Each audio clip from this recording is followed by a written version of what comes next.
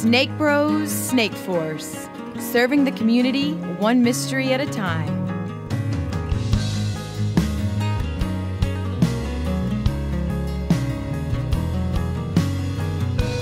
And welcome back, ladies and gentlemen, boys and girls, angels and demons, monsters and serpents, to Brothers of the Serpent podcast, coming to you not live from the 10 by 10 by 10 tangent cube of science, nestled amongst the dusty bones of an ancient seabed high atop the Edwards Plateau, deep in the heart of Texas. So we had a uh, fantastic swap cast with Conspiranormal last week. Uh, that was the week we got back from our trip. So we haven't had a chance to talk about that trip yet. So that's pretty much what we're going to do on this podcast, right? That's Yeah. the plan. Yeah. I got a bunch of news stories. Oh yeah, yeah. We got a lot of uh, I got a lot of listener communications, and uh, I have a news story as well. So So as far as the trip's concerned, um, I have a lot of follow up work to do Yeah. that I haven't done, and uh, so I'm gonna be. so do you want to hold off on the trip I stuff? mean, we and- could give it like a basic rundown, but yeah. I want to go into detail just for my own research on, Right. on some of the stuff we looked at and uh, present that on the podcast. But I'm also wanting to make sure that the way I present them is respecting the people who did the work Yeah. that I'm trying to get a hold of. Yeah. Um, So, Yeah. I mean, I know you know all this, but I'm saying this for Right. Yeah. No. I, I, I totally, I totally agree. And, uh, but I mean, we have the other stuff that we did that's not Yeah, so for sure. sensitive that we can talk about. Um, Stay tuned, yeah. Yeah. Stay, folks. stay tuned for further reports. Yeah. Uh, the Watcher is here with us, but he is having mic problems still. At least Um, At least that's what I'm blaming it on because I don't think it's my problem. right. Yeah. He's trying to say it's on Pretty- our end. It's a pretty safe bet. it's pretty- that it's it's on Yeah. his end. Who is the person that has all the mic problems all the time? It's not us. So it's a good bet that it's his problem. And what do you have to say about that, Watcher? Nothing.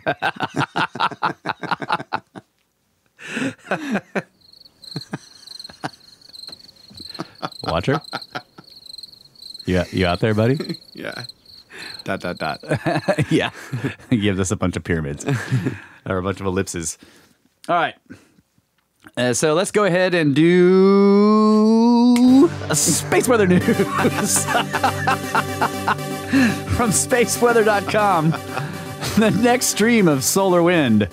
A minor stream of solar wind flowing from a southern hole in the sun's atmosphere is expected to reach Earth on October 3rd or 4th. Its impact probably won't spark a full fledged geomagnetic storm. Lesser geomagnetic unrest and auroras are possible, however, especially around the Arctic Circle. Also, a Steve storm hits Scandinavia. When a stream of solar wind hit Earth's magnetic field last Friday, September 27th, forecasters expected an aurora storm around the Arctic Circle. Turns out it was more of a Steve storm. Many skywatchers in Scandinavia saw the mauve ribbon of light. Mauve, that is uh, purple for those of you in Lake Hills. A mauve ribbon of light for the very first time. Goran Strand photographed the event from Handel, Sweden. I finally got to see Steve, says Strand, who is a veteran observer of auroras but had never seen Steve before. It all started when I noticed a faint, faint green corona outside of our mountain cabin. I grabbed my camera gear and headed out into the night. At my first stop along this road, I encountered Steve. Steve, which is strong thermal emission velocity enhancement, looks like an aurora, but it is not. The phenomenon is caused by hot, uh, 3,000 degrees Celsius ribbons of gas flowing through Earth's magnetosphere at speeds exceeding 6 kilometers per second. These ribbons appear during some geomagnetic, geomagnetic storms, revealing them to, by their soft purple glow. So, Steve normally appears at latitudes around plus 50 north to f- plus 55 north, on rare occasions dipping down into the 40s. This case, however, the sightings were at unusually high latitudes, topping plus 60 north in Handal, Sweden. The, the, uh, this event shows that the habitat of Steve may reach farther north than previously thought. I remember Steve.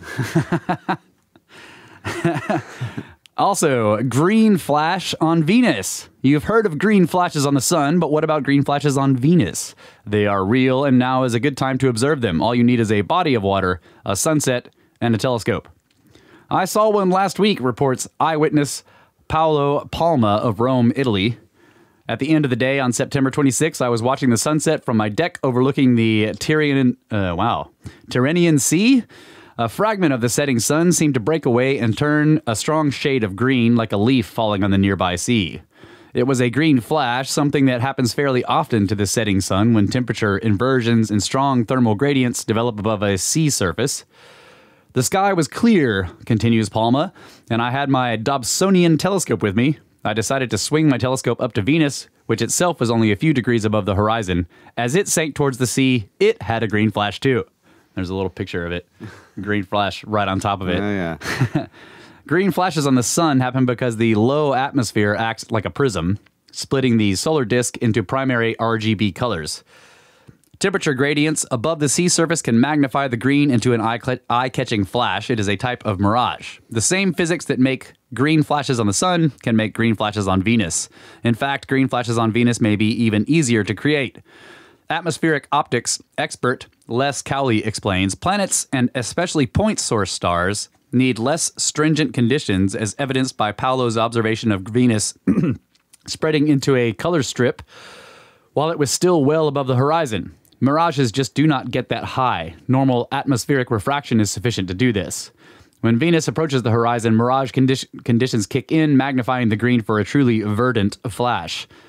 Now is a good time to observe Ven- Venusian green flashes. The second planet is just emerging from solar conjunction, so when the sun sets into the waves, Venus is not far behind, sampling these same thermal conditions as the green flashing sun. Seaside skywatchers should be alert for the phenomenon in the evenings ahead. That's cool. Yeah. And the watchers put some pictures here of the uh, Steve. Oh, yeah, that's a good one. That's awesome. Yeah, the one that they had that this guy took a picture of was right. Looks like that. Oh wow. Yeah. Rainbows. Yeah. That's cool. Night rainbows. Yeah. Cool. Yep. what do you got? You got stories or should Yeah. we do? Okay. Uh, at midnight on Mars, the red planet's magnetic field sometimes starts to pulsate in ways that have never before been observed. The cause is currently unknown. This is from National Geographic. Um, dot com. Mysterious magnetic pulses discovered on Mars. That's just one of the stunning preliminary findings from NASA's very first robotic geophysicist there, the InSight lander. Since touching down in November 2018, the spacecraft has been gathering intel to help scientists better understand our neighboring planet's innards and evolution, such as taking the temperature of its upper crust, recording the sounds of alien quakes, and measuring the strength and direction of the planet's magnetic field. As revealed during a handful of presentations this week at a joint meeting of the European Planetary Science Congress and the American Astronomical Society, the early data suggest the magnetic uh, mach- machinations of Mars are marvelously mad. In addition to the odd magnetic pulsations, the lander's data show that the Martian crust is far more powerfully magnetic than scientists expected. What's more, the lander has picked up on a very peculiar electrically conductive layer, about 2.5 miles thick, deep beneath the planet's surface. It's far too early to say with any certainty, but there is a chance that this layer could represent a global reservoir of liquid water. Ah. On Earth, groundwater is a hidden sea locked up in sand, soil, and rocks. If something similar is found on Mars, then we shouldn't be surprised, says Jenny Radebaugh, a planetary scientist at Brigham Young University who is not involved with the work. what? Just get some random scientist to say one thing? We shouldn't be surprised. Wow, I'm going to quote them and put them in my story. But if these results bear out, a liquid region at this scale on modern Mars has enormous implications for the potential for life, past or present. So far, none of these data have been through peer review, and details about the initial findings and interpretations will undoubtedly be tweaked over time. Still, the revelations provide a stunning showcase for InSight, a robot, a robot that has the potential to revolutionize our comprehension of Mars and other rocky worlds across the galaxy. A Tale of Two Worlds. Earth has a major global magnetic field thanks to its rotation and churning, iron rich liquid outer core. We know that this field has been around for a while and that it has, it has shifted about fairly dramatically across geological epochs based on natural records of its strength and direction trapped in specific minerals within the crust. The history of Mars's magnetic field is similarly archived in its crust, as scientists learned in 1997 thanks to data from the Mars Global Surveyor orbiter. The same zoo of magnetic minerals that exist on Earth exist on Mars, says Robert Lillis, a planetary space physicist at the University of California, Berkeley, who wasn't involved with the new research. First of all, a planetary space physicist sounds like a great job. Yeah. And why are they quoting all these people who are not involved in this research? The orbiter detected Just these are just the random scientists that are nearby. lazy journalists. yeah. the orbiter detected the red planet's magnetism from 60 to 250 miles above the surface, and it found that the crustal magnetic field is 10 times stronger than Earth uh, than Earth's is when measured from the same height above the surface. This suggests that once upon a time Mars also had a major global magnetic field. Unlike Earth, though, Mars got unlucky. Around 4 billion years ago, its convulsing outer core appears to have seized up, causing a collapse in its global magnetic field. Left with a weak magnetic shield to defend itself, an outpouring of radiation from the sun, known as the solar wind, gradually stripped away much of its ancient atmosphere, turning a potentially life supporting, water rich world into a cold desert. Hmm. Grasping why these two planets had such different fates requires the best possible measurements of Mars's magnetic ghosts. But from orbit, the strength of this remnant magnetic field has poor resolution. It's like looking at a crowd of people from far away. If many are wearing red shirts and a few are wearing blue, a camera at a distance will largely register the preponderance of red. But get close with the same camera, and those all important blue hues will be more clearly seen. Hipsters. the same is true for magnetic measurements, says Dave Bryan, a researcher of atmospheric and space physics from the University of Colorado, not involved with the work. the closer you get, the more structure you are able to pick out. You know what this you know what the, probably the deal is? It hasn't been peer reviewed yet. So none of the people that are involved with the work will talk to the journalist. That's probably you're probably exactly right. This is great. Tell me more about what people not involved with the work think about this. Journalist. Mysteries at Midnight. Insight's magnetometer, the first placed on the Martian surface, gave scientists their best look yet at the crustal magnetic field, and it gave them a bit of a shock. The magnetic field near the robot was around 20 times stronger than what had been predicted based on past orbital measurements. Brian, who is familiar with the InSight data, says that this strong, stable magnetic signal is coming from rocks near InSight, but whether they are deep underground or nearer the surface is currently unclear. That identification matters, Burns. Uh, I guess he misspelled Brian because Yeah. now he's spelled B Y R N E. Bjorn says because if it's coming from younger rocks near the surface, it would imply that a strong magnetic field persisted around Mars for longer than we currently think. Perhaps even more puzzling, InSight also found that the crustal magnetic field near its location jiggled about every now and then. This wobbling is known as a magnetic pulsation, explains Matthew Fillingim, a space physicist at the University of California, Berkeley, and a member of the InSight science team. All right. Where's my triumphant music? I need. dun, dun, dun, dun. These pulses are fluctuations in the strength or direction of the magnetic field, and they are not entirely unusual. Plenty of them happen on Earth and Mars, triggered by upper atmospheric chaos, the action of the solar wind, and kinks in the planet's magnetic bubbles, among other things. What's strange is that these Martian wobbles happen at local midnight, as if responding to the demands of an unseen nocturnal timer. Hmm. InSight is near Mars's equator and in the same geographic position on Earth at that same time of night. You don't see these types of magnetic pulsations. Nighttime pulsations on Earth tend to happen at higher latitudes and are linked to the northern and southern lights. Right now, the ones on Mars have no clear source, but the scientists have at least one suspect in mind. Although it no longer has a potential global magnetic field, a potent global magnetic field, Mars is surrounded by a weak magnetic bubble created as the solar wind interacts with its thin atmosphere. This bubble is in turn compressed by the solar wind's magnetic field, causing part of a bubble to take on a tail like shape. At midnight, InSight's spot on Mars is aligned with this tail, and as it passes through, the tail may be plucking the surface magnetic field like a guitar string. Hmm. Unpeer reviewed theory.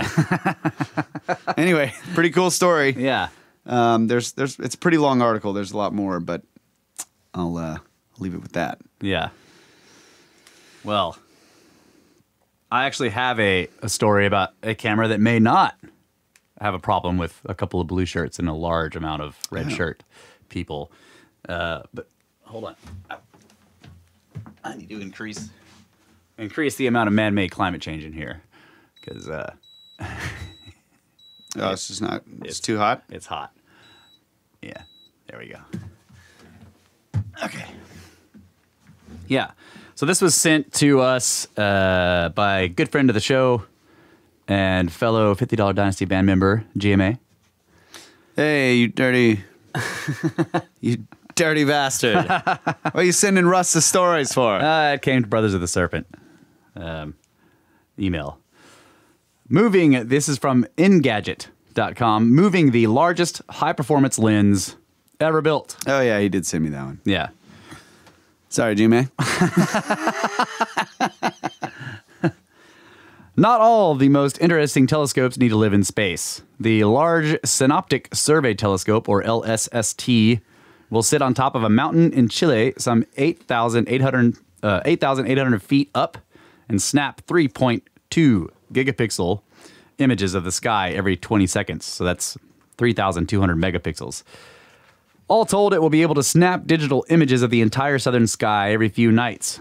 By taking relatively long 15 second exposures, scientists will be able to study the early universe, track dimly lit asteroids, and better understand dark energy. Yeah, right. Right. The LSST cameras has 32 times the resolution of the best consumer shooters out there in order to image the maximum amount of sky possible. It's also the largest CCD, which is charge coupled device, mosaic in the world, according to the contractor that worked on it. it's, it's not a random contractor. Yeah, a contractor who is not familiar with the camera at all. to, to focus all that light, the telescope has a very wide 3.5 degree diameter field of view and an extremely fast aperture, giving it an immense 319 meters squared, degrees squared, intendu. I'm not sure what that word is. Three times more than the current, best ter- current telescopes. To achieve that feat, it will use three mirrors, with the primary at 8.4 meters or 28 feet in diameter, the secondary at 3.4 meters, and the tertiary at 5 meters. Aperture science. yes, that's who did this. you don't watch her. The challenge is to get rid of any aberrations, which is where the lens comes into play. Look at that. There's a picture of the lens there. That's awesome. Yeah. SLAC said that the 1.55 meter or 5.1 foot L1 lens shown above is the largest high performance optical lens ever fabricated. It was designed by Lawrence Livermore National Laboratory based on work spanning nearly two decades and fabricated using very advanced optic systems. It was built along with the uh, 1.2 diameter L2 companion lens by Ball Aerospace and subcontractor Arizona Optical Systems in a process that took five years. Careful where you point that thing. The success of the fabrication of this unique optical assembly is a testament to LLNL's world leading expertise in large optics, built on decades of experience in the construction of the world's largest and most powerful laser systems, said physicist Scott Olivier, who was not involved in building any of this at all. the camera itself is the size of a small car and weighs more than three tons. Each massive image it produces will be a gold mine for scientists and it's expected that the LSST will detect about 20 billion galaxies during a 10 year time frame, while also creating time lapse movies that could re- uh, reveal changes in galaxies and stars. The images won't just benefit scientists. Anyone with a computer will be able to fly through the universe past objects 100 million times fainter than can be observed with the unaided eye. SLAC and LSST hope it will become a platform for crowdsourced astronomical discoveries. The LSST is scheduled to start imaging the southern sky by 2023.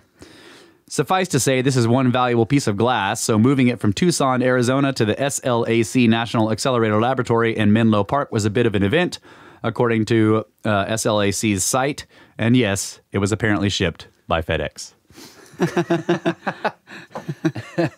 but that's cool. It's going to be crowdsourced, man. I can't wait to check that out.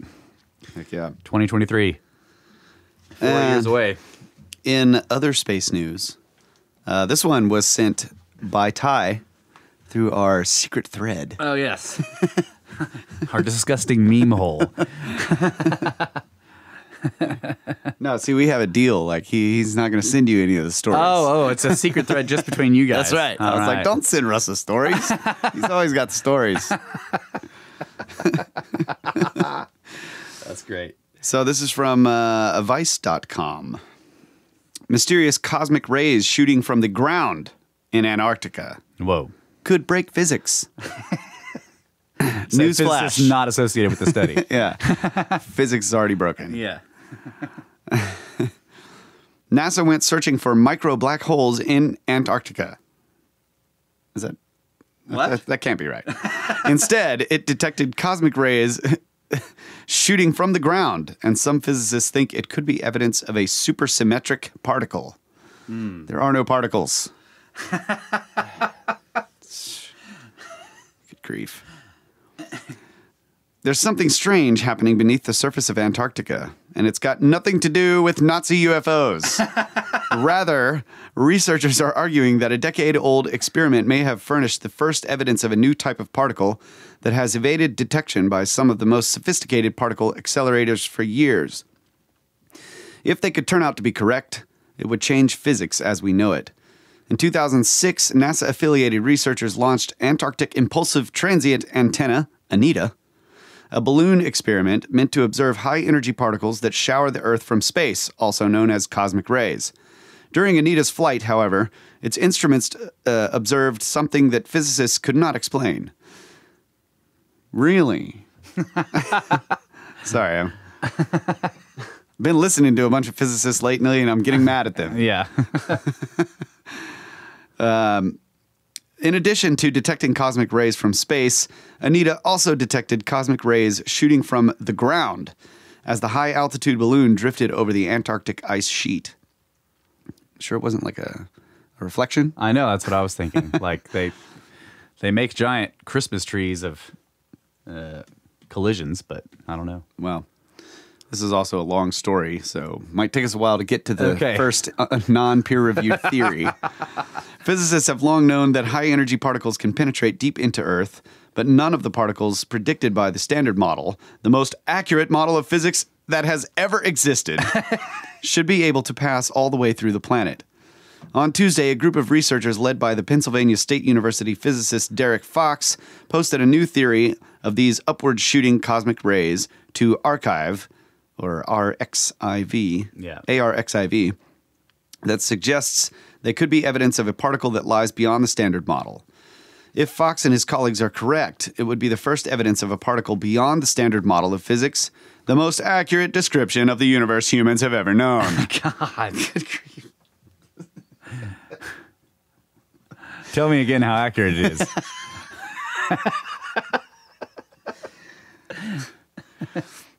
Should I go on? Yeah, let's- okay, the uh, first Anita mission launched from the McMurdo base in Antarctica in December 2006. The experiment flew to an altitude of about 120,000 feet, where it's been a month drifting over Antarctica. It was equipped with sensors designed to detect pulses of radiation produced when ultra high energy uh, neutrinos, a nearly massless particle with no electric charge, interact with the Antarctic ice sheet. In the early 60s, the Soviet physicist Gurgen Askaryan theorized that when a high energy particle interacted with a dense dielectric medium, a type of insulating material that doesn't conduct electricity, it would produce a shower of secondary charged particles whose radiation can be detected by standard radio antennas. This interaction, now known as the Askaryan effect, allows physicists to detect particles that hardly interact with normal matter, like neutrinos, by observing their secondary effects. The, How does a particle with no mass and no charge interact with stuff? that's a good question. I don't know. The goal of Anita mission was to use an array of antennas to detect the Askaryan. I, I hope I'm pronouncing that right. A S K A R Y A N. Askaryan. Hmm. Radiation produced from high energy neutrinos interacting with the Antarctic ice sheet. Unlike photons, neutrinos don't lose their energy as they propagate through the universe. This means that they can carry information from beyond the photon horizon, the limit that photon sources are still detectable from Earth, and provide a window into, uh, onto the farthest reaches of the universe. Furthermore, some models of physics that are beyond the standard model predict the existence of incredibly small extra dimensions.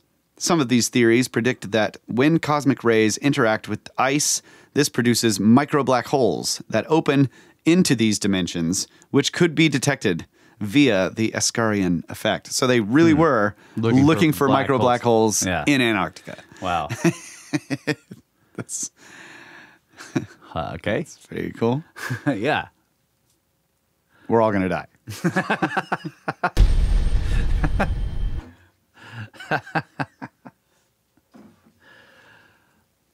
I mean, right. I've heard of micro black holes being caused during the very early Big Bang, uh, because supposedly the energy levels were so high, energy densities were so high that tiny, you know, tiny amounts of matter could actually collapse into an Yeah. event horizon.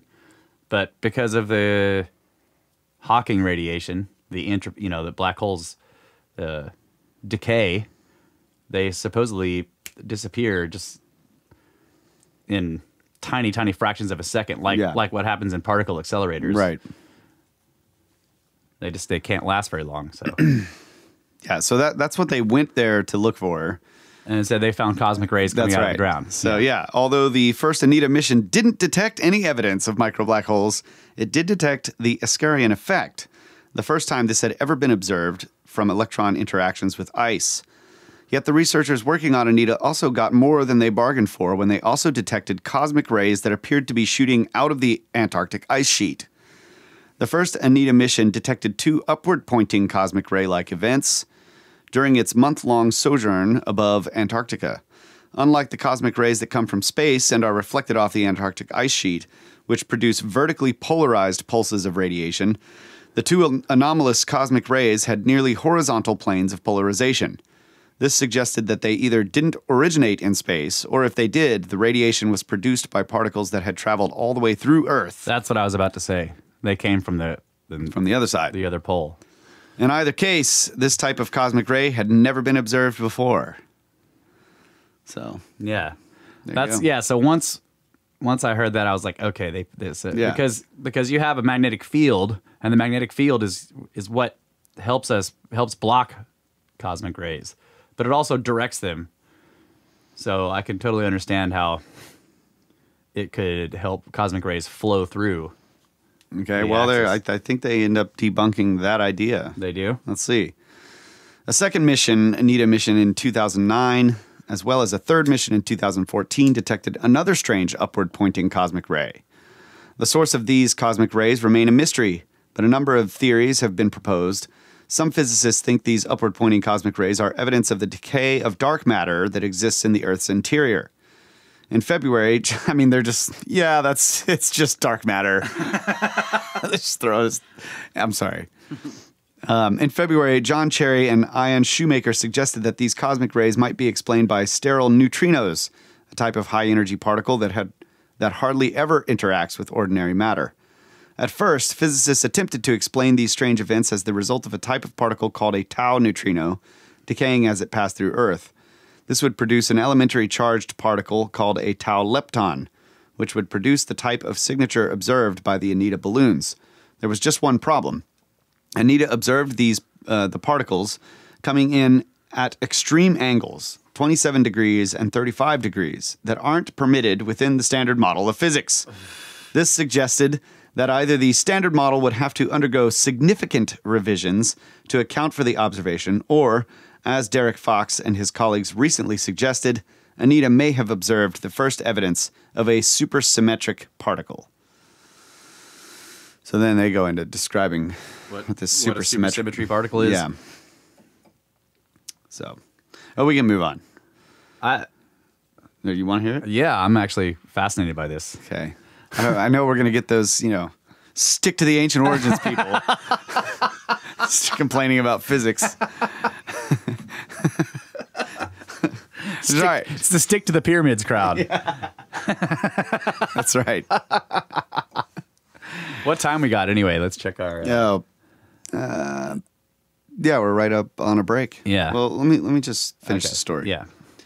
All right, the standard model of physics was cobbled together over the course of the past century and currently serves as the most accurate model of physics, uh, of physical. I'm sorry. It serves as the most accurate model of the physical universe ever created. Number three. it describes most of the fundamental forces and classifies elementary particles. Although the standard model has proven remarkably successful for making experimental predictions over the last few decades, it's not able to explain everything. Some phenomena, such as gravity, the accelerating expansion of the universe, and neutrino oscillations, are not incorporated in the model. Wait, are you saying there's not a theory of gravity? Yeah, I guess let's let's not even talk about quantum mechanics. Yeah.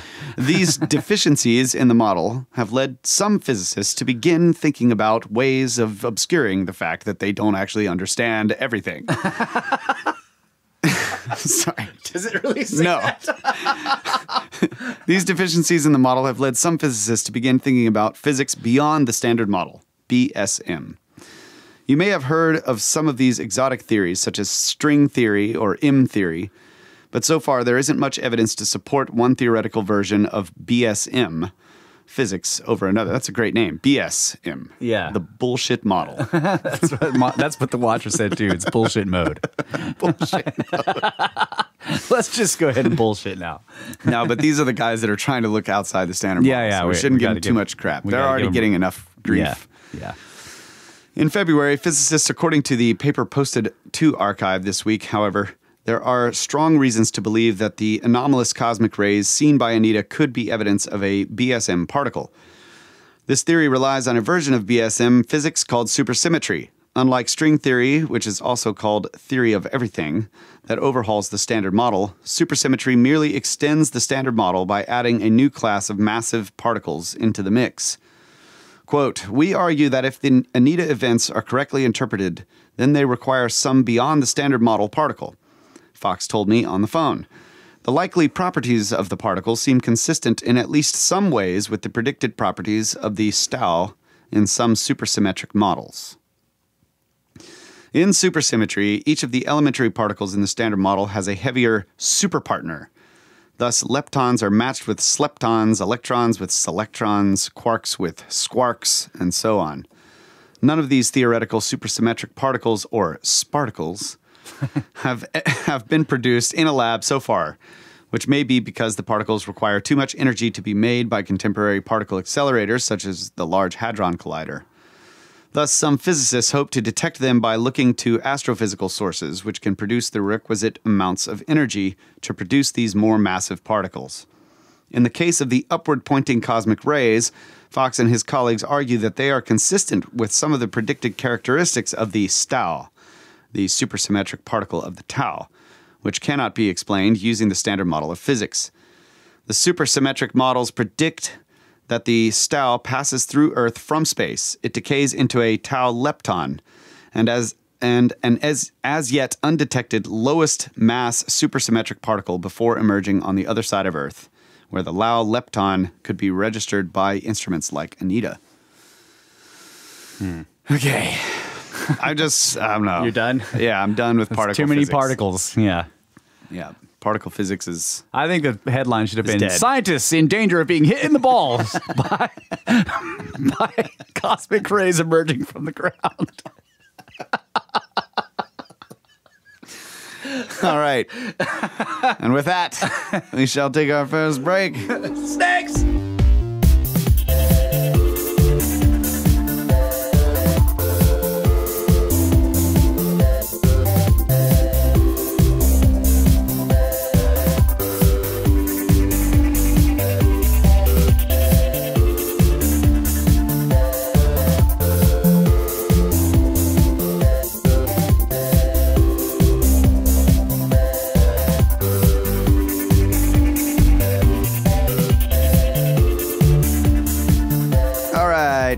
Welcome back.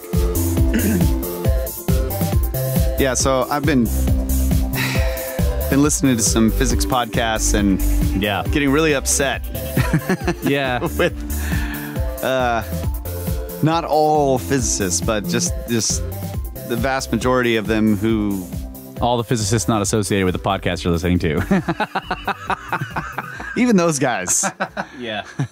Yeah, I was trying to make a. yeah, I know. Yeah. Uh, they just I don't know. Ignoring the the problems with the model just so that they can continue to just do whatever they're doing. Yeah. Well, and and, the hundred year long ignoring of the philosophical ramifications of the model that they're using. That's Yeah. my big problem. You know, the the whole like don't don't mess around with the fundamentals of quantum mechanics. You know, is uh Yeah. because it's because it has philosophical or metaphysical ramifications. That's Yeah. And uh, shut up and calculate is what that's but, called. But this, it's that that type of behavior on the part of the majority of physicists yeah. that results in stories like this one that are like the most accurate model of the universe we have ever known. That's right. How do we know that that's the most accurate one we've ever known? right. Like humanity, in other words. Yeah. Of course, that's a totally different question, but Right.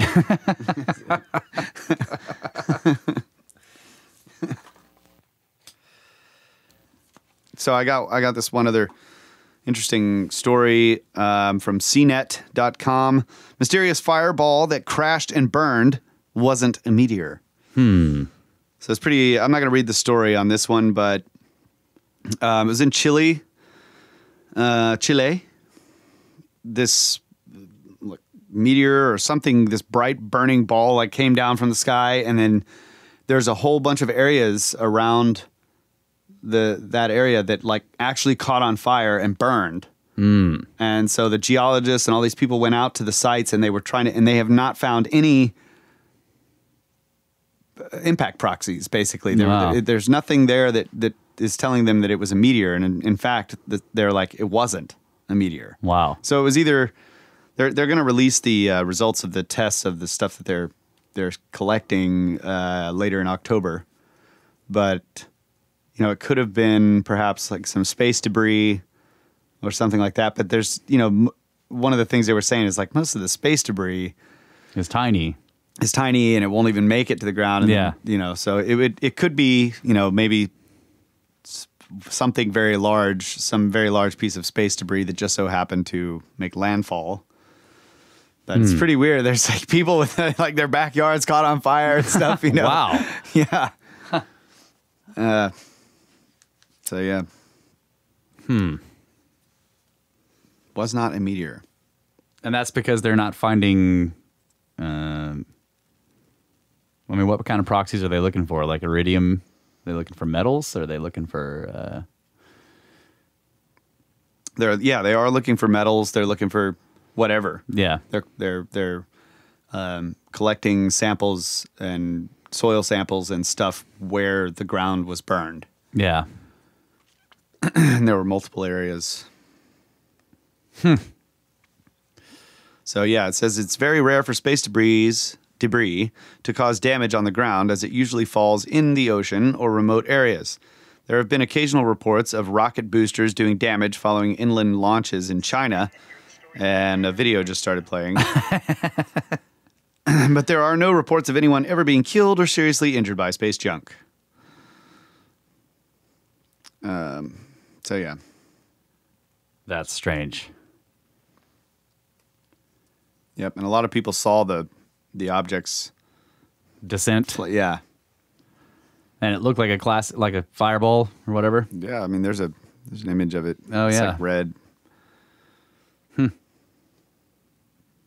They've ruled out a disintegrating meteorite as the cause after failing to find any evidence of space rock at seven points where fires were started. That's that's cool. I mean, it's not cool that people's yards caught on fire, but Yeah, it was. Yeah, it was, be- it was a UFO. I'll be interested to see what they come up with. Yeah, That's uh, we're in- definitely, definitely a UFO story right there. We're in October. Yeah, we're in October, so maybe the results yeah, this will be. this just happened Yeah, you said that they'll release the results of the test in October. so- later later this month. Yeah, later this month. it Cool. happened. The story's on October first. Ah, So wow. All right, what do you got? I've got uh, I've got a bunch of listener emails. Uh, I mean, we di- we didn't we weren't really able to go through any last week, so Yeah, they've been stacking up. this one's great from Shannon. Says hello, bros. UK posse here. Because of my love for Randall, I found Grimerica and then inevitably Brothers of the Serpent. FYI. Your glossary of terms is thoroughly embedded within my vocab. People look at me like I'm crazy, although this was always the case anyhow. In quotes, you know, the butt flaps narrative. Come on, keep up. You two brothers are a pleasure to to listen to. I wish that all families were so loving and had such a magical connection and rapport. Oh. You evoke whole body laughter and happiness within me, so oh my gods. Thank you both for the podcast and for existing in general. So, I dreamed about my own shoulder rivers last night, but sadly, they were only on the sleeves of my shirt. Damn it. But then my shoulder blades became sore, and out sprang forth the cooked bacon strips. A little disturbing being a vegetarian, but yes, I had bacon wings. Please find an attached digital illustration to document the discovery of the true meaning of the archaic Mesopotamian stone relief of Kishar. Enjoy. Bros, be well, be safe, sending love and good vibes your way. Shannon. And she has this picture. She's taken one of the the Anunnaki from the Sumerian cylinder seals and given him bacon Bacon wings. bacon strips coming out of his shoulders. It's freaking awesome. shoulder bacon, shoulder blade bacon is what she calls it. That's hilarious. I'll stick this picture in the show notes. Thank you, Shannon. That was that really gave that cracked me up, man. I I got that early in the morning when we were up in Vermont, and I was laughing my ass off reading that. Uh, let's see. Okay, this is from Teresa. Love you guys. Discovered your podcast through Where Did the Road Go, the 411 episodes. Really enjoying your recent interview of Seriah, and I just had to say that I dream about my cell phone all the time. Unfortunately, it's usually a pivotal component in my almost nightly anxiety nightmares. Keep up the amazing snaky work, Teresa. wow. That didn't happen.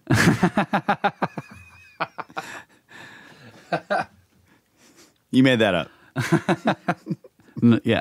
Seriah has also explained. He said he said uh, he he now keeps track of cell phone dreams, and he's telling me about them. So No one had cell phone dreams until, until you I brought it up, Ow, sorry. changing the uh, you're changing the the Change- other realm. yeah. Uh, let's see. Mm, okay, this is a good. So, so this is from Ryan. I probably should. Res- Brian, I'm going to respond to you in text as well, but I wanted to read this on the on the show. Hey guys, I have listened to your show a few times and have really enjoyed it. It is a more serious look at some of the topics that I find interesting, but which are unfortunately polluted by poor work. I'll be going away for four months, uh, where I usually bring books to read. I would like to request a recommendation from you guys. I really like a serious look at pre ancient history, the type of stuff you spoke about in the Conspiranormal podcast. Much appreciate, appreciated. So, he's asking for a book list. Hmm. So, I'll send I'll, I'll send you a list in text, buddy. But uh, you can't go wrong with um, Forgotten Civilization by Robert Schoch. That's a great one. Oh, yeah. Uh, obviously, any of the Graham Hancock stuff you want to look at, Sign and the Seal, uh, Fingerprints of the Gods, Underworld. These are all really good. America Before, uh, Magicians of the Gods. You probably could bring that whole list of books. And What was the the David Hatcher Childress one too? Oh yeah. Technology of the Gods. yeah, Really and the. Martin Sweatman book. It's awesome yes. too. Um, so if you want a closer look at Göbekli Tepe, prehistory decoded. Yeah, prehistory decoded is great. Uh, the uh, Walter Bosley's Secret Missions series is fantastic. Uh, I really recommend the Richard Fra- Sir Richard Francis Burton book. So, anyway, but I will respond in text as well. Send you an email and give you a list. He just pulled over. He's like writing it down. Yeah. oh, damn it. So this is really cool. Uh, this is also, let's see. Should I read this on here? Yeah, so I want to read this here. This is sent from David, uh, who is also the, I believe he's the, uh, let me make sure this is right. Damon. Yes, this is the this is the guy who has been telling us about how to properly smoke pipes Ah, tobacco yes. pipes. Um, but this is a different. So he says, the Edfu text in English, the first mini installment. Okay. Hello, Snake Brothers. I wrote some days back in a YouTube comment on one of your really excellent conversations with Randall. He's talking about the Cosmographia podcast, which you can. He, I saw this comment from him. It was on the. You can find it on the Geocosmic Rex YouTube channel. That's Brad's YouTube channel. That's where he has been posting the uh, Cosmographia videos. Um, so he says, really excellent conversation with Randall about how I would be. I would, so okay, I wrote some days back on a YouTube comment about on one of your really excellent conversations with Randall about how I would be translating some of the Germans' work on the original text of the Temple of Horus at Edfu in order to substantiate or falsify some of Graham's comments. I think you're talking about Graham Hancock. Graham's comments. Maybe he means uh, Graham Dunlop. He could. Graham's comments about these texts containing the Egyptian flood myth that some Egyptologists say does not exist. Here is the result of my initial brief look after sorting through some of the exhaustive but very well organized German website from the University of something I can't pronounce. Göttingen? Do you know how to say that? Which one? Right there? Göttingen. Okay. Göttingen. I don't know. Göttingen. Göttingen. I don't know. Yeah, I don't either. Just throwing it out there.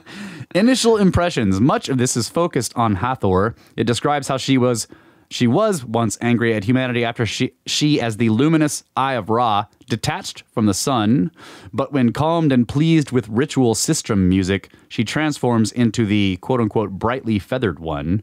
This uses the Egyptian word behedeti, meaning the winged sun disk. Hmm. This certainly sounds like the kind of hairy star or Helios chariot type myths where a different sun, one with appendages, presages a great destruction. And apparently, there is symbolic connection to an alchemical symbol of a winged sun over a sepulchre filled with water. So, that is interesting. Randall would likely know what that refers to. These documents contain a nice plan view of the temple with a fascinating interior layout. Apparently, the priests thought it important to express sacred geometry. Certainly, the specific ratios of the inner spaces are listed. These geometric arrangements must have some deliberate sacred meaning. They may well have acoustic properties. In the sacred ritual, it is the music that makes Hathor quote unquote pleased and quote unquote unify her, uh, unify with her newly peaceful and non wrathful aspect as the sun disk. By the way, this disk is a very similar netter or neter to what Akhenaten called the Aten, that of early monotheism, Egyptian prayers being quoted in Psalms and all that. I have not yet found direct mentions of flooding, but would not be surprised to truly see it in there, and would be fascinated to explore the context. Egyptian text comes with heaps of philosophy and metaphysics and allusions built right into every talismanic image.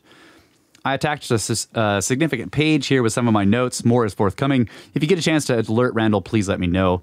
He'd love all this, and I don't know if he has gotten a chance to go over to go over it with the German, the dense websites, and all. All the best, David. So That's awesome. yeah, so he's this is awesome, guy. Man, I'm gonna we are gonna I'm, I am going to tell Randall about this and get this stuff to Randall, but I wanted to read it on our podcast as well. So thank you so much for that. but yeah, that that uh, the Hathor coming out of the sun with appendages. She gets angry basically and comes out of the sun, and she's now a separate sun with arms raised coming out of her. It's very. Uh, and uh, you know you see those images of Akhenaten with the Aten in the sky with all the Yeah. rays coming down. The and she was Hathor is also the Eye of Ra, so there's all these cataclysmic space enti- uh, you know space events basically Yeah. encoded in this. Like solar events almost. yes, like, yeah, yeah, or a giant comet s- circling around the sun and Yeah. or crashing into the sun, creating a solar event. yeah, exactly. Uh, okay, let's see. Uh, uh, Scotty Baldwin sent us his schedule. Scotty, thanks for the email. Sorry I haven't gotten back to you on that. I'm going to. He asked us. He gave us a list of where he's going in China, and he wants to know what cool things can he go look at. so. Scotty, I'm going to get back to you on that, buddy. Uh, but just off the top of my head, I don't see Longyu in here but it's the Longyu province. So if you're ever in the Longyu province, go see the Longyu grottos, please. That would be awesome. But I will look these other places up and check my archives and see what I got. Cool. We got some. We got a donation comment from Robert.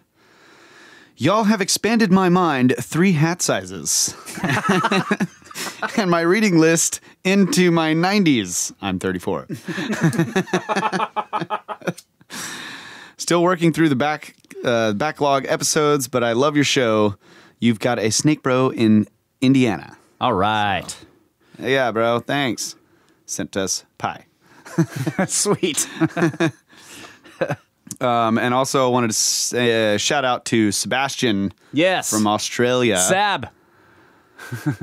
Thank you so much for the donation, buddy. Awesome. Yeah. I've got an email from him about it. I was going to read that. Uh, Jeff says, Hey, bros, I haven't been listening for long, but I'm about 60 episodes in since your first Cosmographia episode. You may recall Kyle asking about a complete Greek mythology book about two years ago, or not. Anyways, here are three links to three parts of a 20 hour audiobook featuring the Pantheon mythos. Yes. The intro or forward is simply amazing, and I hope this helps you guys keep it going. Snakes! Thanks, buddy. yeah. I forwarded this to Kyle, and yeah, we're going to be listening to these. Heck yeah. I I tried to get that video game Oh, yeah. Titan, Titan Quest. Quest Yeah, on my computer and I couldn't make it work. that's right. I was going to say Sebastian uh, I think he tried to send us some kind of sacred number perhaps. But it was in Australian. Yeah, but but uh, yeah, it's been it's been changed Yeah. cuz it's a weird number. Yeah. But it's a lot. Yeah. I've Thanks, got- buddy. Here's the, I'll just go ahead and read his email. Hey guys, last email I sent, I said I would donate to the pyramid scheme after I sold my old car. I have sold my car now, and I was planning to buy a hoodie and donate the difference up to $100 to you guys. Anyway, the hoodie was something like 80 to $90 Australian with delivery. So, like, he was trying to order a, one of our hoodies. Dang. But That's a lot. yeah, to get it delivered all the way to Australia is going to cost him like 80 or 90 bucks in Australia. He said, and I just couldn't justify spending that much right now. So I opted for a long sleeve t shirt. And it worked out to like $48 delivered. So I thought I would donate the rest up to $100 to you guys. But the Aussie dollar is slow, so low right now that it seems you got about $80 A from my donation, lol. Still only about $52 US for you guys, but I'm glad to be helping. I thoroughly enjoy your work, and I feel that you are tackling the most important things that we as a society could be focused on. The two most two most important things to me these days are colon. When is the next impact due? and how well prepared are we? I know the elites are getting prepared, but I think all of us, Adamu, are probably going to be expended. anyway, the other aspect of the topics you cover that I find highly compelling is the location of and function of healing locations around the globe. I have heard anecdotal reports of healings occurring in volunteer archaeologists helping at the Bosnian pyramid site, also from Michael Tellinger in South Africa at specific stone circles, and Kailasa Temple at Ellora Caves in India is said to heal people that cut circles around it reciting the Om Mani Padme Hum mantra. This last one speaks of sound resonance, in my opinion, and these topics are high on my list of interests regarding ancient history. Of course, the Scriptard community would hate for this informa- information to be public, if they even know about it. But I'm sure that other organizations would have this knowledge, and I'm sure it is deliberately hitting, hidden from us all. Anyway, that's about it for now. I look forward to getting my merchandise soon. It had better be top quality, or I'll go donate to a local Scriptard here. Haha. Cheers, guys. From Sap. he's gonna give if he doesn't like the shirt, he's gonna give it to a local Scriptard. That's freaking awesome. Oh man. All right. Sab, we're gonna have to give you one of our scriptard.com forwarding email addresses. That's right. That's right. So send us an email and tell us what you want the first part of the email to be. Yeah. And then I'll set it up and you will basically have whatever you want at scriptard.com as your email address that you can give out. Yeah. and you can't reply from that email address, but I'll have it forwarded to your email. yeah. It's just Yeah. fun. You, you can give it out. Yeah, so whenever you're talking to Scriptards, you can be like, oh, yeah, send me all that Scriptard information at sab at scriptard.com. Scriptard.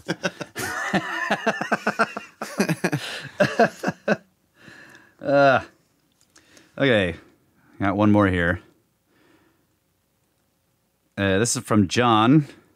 He says, What's up, fellas? I listened to the Swapcast the other night, and at one point you guys mentioned that you didn't think the good old butt flappers had levitation to move the stones around at Baalbek. I remember researching acoustic levitation a few years back, so I went online and found a few patents for acoustic levitation, and I think you guys would find very interesting. And he has a list of links to patents here. Oh, cool. So, I, yeah, so I wanted to say, um, we're not, I don't think that's what we meant to say, that we don't think that there was acoustic levitation. We just don't know how it was done. Uh, but there could have been acoustic levitation. So, Yeah. yeah. powerful enough. Uh, Yeah. Thanks for the links. For sure, I'm going to check these patents out. But I just wanted to make sure that you understood. But uh, I don't. I, I listened to the Conspiranormal Swapcast, and uh, when they asked us about levitation, Kyle basically went into uh, vibrational physics and what he thinks about that. But it wasn't that we weren't saying. I don't think we meant to say that we don't think they had acoustic levitation. Well, what we what, what we are saying is we don't know what they had. But those Yeah. that is one of the possibilities. But uh, lack of data makes us not, or at least me, uh, I'm pretty sure Kyle too, not willing to like nail it down to that one thing. To say this is what they did, basically. yeah. So I mean, it would just. I guess the way I think about it is that it would take a ridiculous amount of of energy in those in those acoustic waves. Yeah. Like yeah, you know, so unless they were they're, they uh, if they may have been doing something with something unknown, basically. yeah, Yeah. But to call it acoustic levitation implies sound waves, but I guess it could be some other kind of waves. Uh, and the acoustic part just means that you're using reflections and stuff. I don't know, but acoustical usually means audio, noise, sound. Yeah. You know, uh, specific frequencies moving through the air that you can hear. Uh, or right, well, right, right. maybe it's, not. It's the it's the frequency at which um, you know the medium of air propagates energy. yeah. The frequency range, right? That's the audio range, and it can go beyond human hearing, obviously. Yeah, yeah, but yeah. um, if one, once it gets too high, then the air no longer is is uh, Going to be able to propagate it. right. Yeah. and once it gets too low, same deal. Yeah. So- but and acoustics means like Audio, sound, yeah, okay, yeah. yeah. Yeah. Well, should we look it up? Yeah, because I thought it might mean uh, it, it's, you know, when something has acoustical properties, does that mean it's sound related? Yeah, Period. it's- it, yeah. Uh, yeah, but it means reflections and uh, I don't know. Like you know, a, a cave is acoustical in that sense. Yeah, let's look it up. See what we get here. Um. But yeah, I agree. Like the the the the the, the, the nature of acoustic. Or, or of sound waves traveling through the air is the energy levels are Acoustics, the scientific study of sound, especially of its generation, transmission, and reception. okay. Uh, the total effect of sound, especially as produced in an enclosed space. The science of sound, the study of the cause, nature, and phenomena of the vibrations of elastic bodies which affect the organ of hearing. So, Okay. so it's it's It has to do with sound. yeah. So I I was basically saying that it's within air, right? But but we call um, sonic like you know ultrasound. Yeah. that's also sound. Yeah. we can't hear it, Right. But it is still being Right. propagated through the air. Yeah. There's ultra and infra sounds. Yeah. Um, but acoustics may mean sound waves being propagated through any material. So, like, Yeah, it could be through through any material. I- like so it could I be through guess, yeah. solids and stuff like that. Yeah. sound. Yeah. Huh.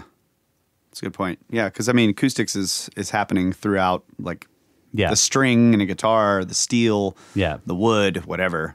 Yeah. So it is going through these other materials, but it's coming off of those materials, propagating through the air, and that's how we hear it. Unless Right. you're unless you're biting down on the end of the string when somebody's plucking it, and then it's Yeah. going directly. That's mechanical vibration going Right. into your head. But there's also like acoustics underwater and so on, right? Yeah. Yeah. So like sound moving through mediums, I guess is what the idea Yeah. is.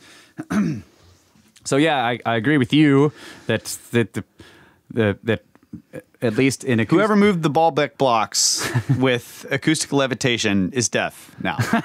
That's all I'm saying.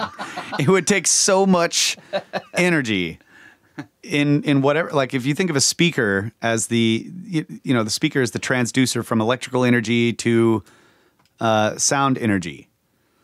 So in order to have a speaker, a loudspeaker that was loud enough to make a a a a powerful enough wave, and you would have to have you'd have to do this in in three axes, right? You'd have one on on the bottom or whatever, and then two on the sides or something, and you'd have to produce a standing wave and trap that block In within the standing wave. yeah, So you'd have to have a vibration large enough to trap the block because the block has to be like whatever you're levitating with acoustics has to be roughly the size Of the wave. half of the wavelength yeah, of the acoustical wave in which you're trapping it in. Okay.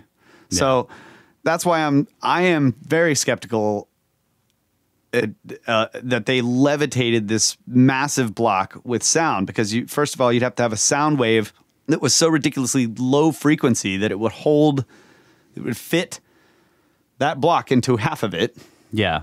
You basically have to crystallize the air around the block using sound in order to hold So it. it's like the the, the speakers or the generator that's producing the sound wave would have to have a mechanical device pushing, compressing, and then rarefying the air that's so massive that it would be bigger than the block. yeah, So you might as well just pick the block up and move it. Yeah.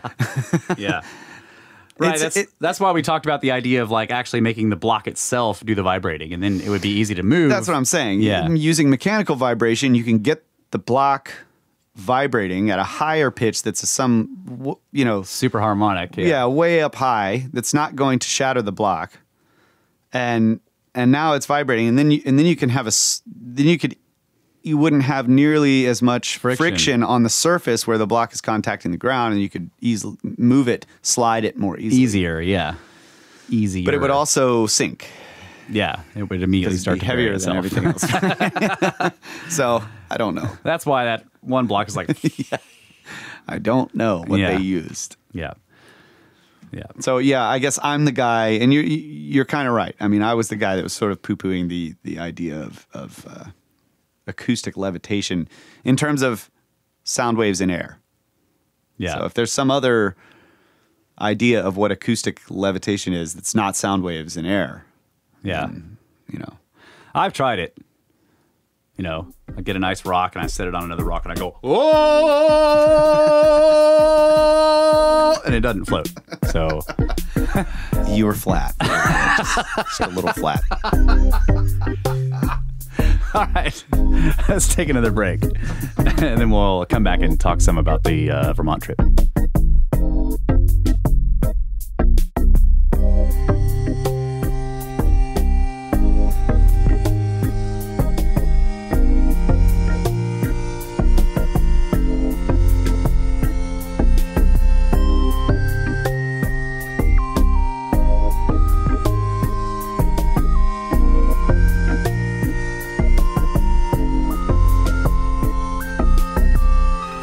Keeping the Enlils of the world awake by reason of our babble.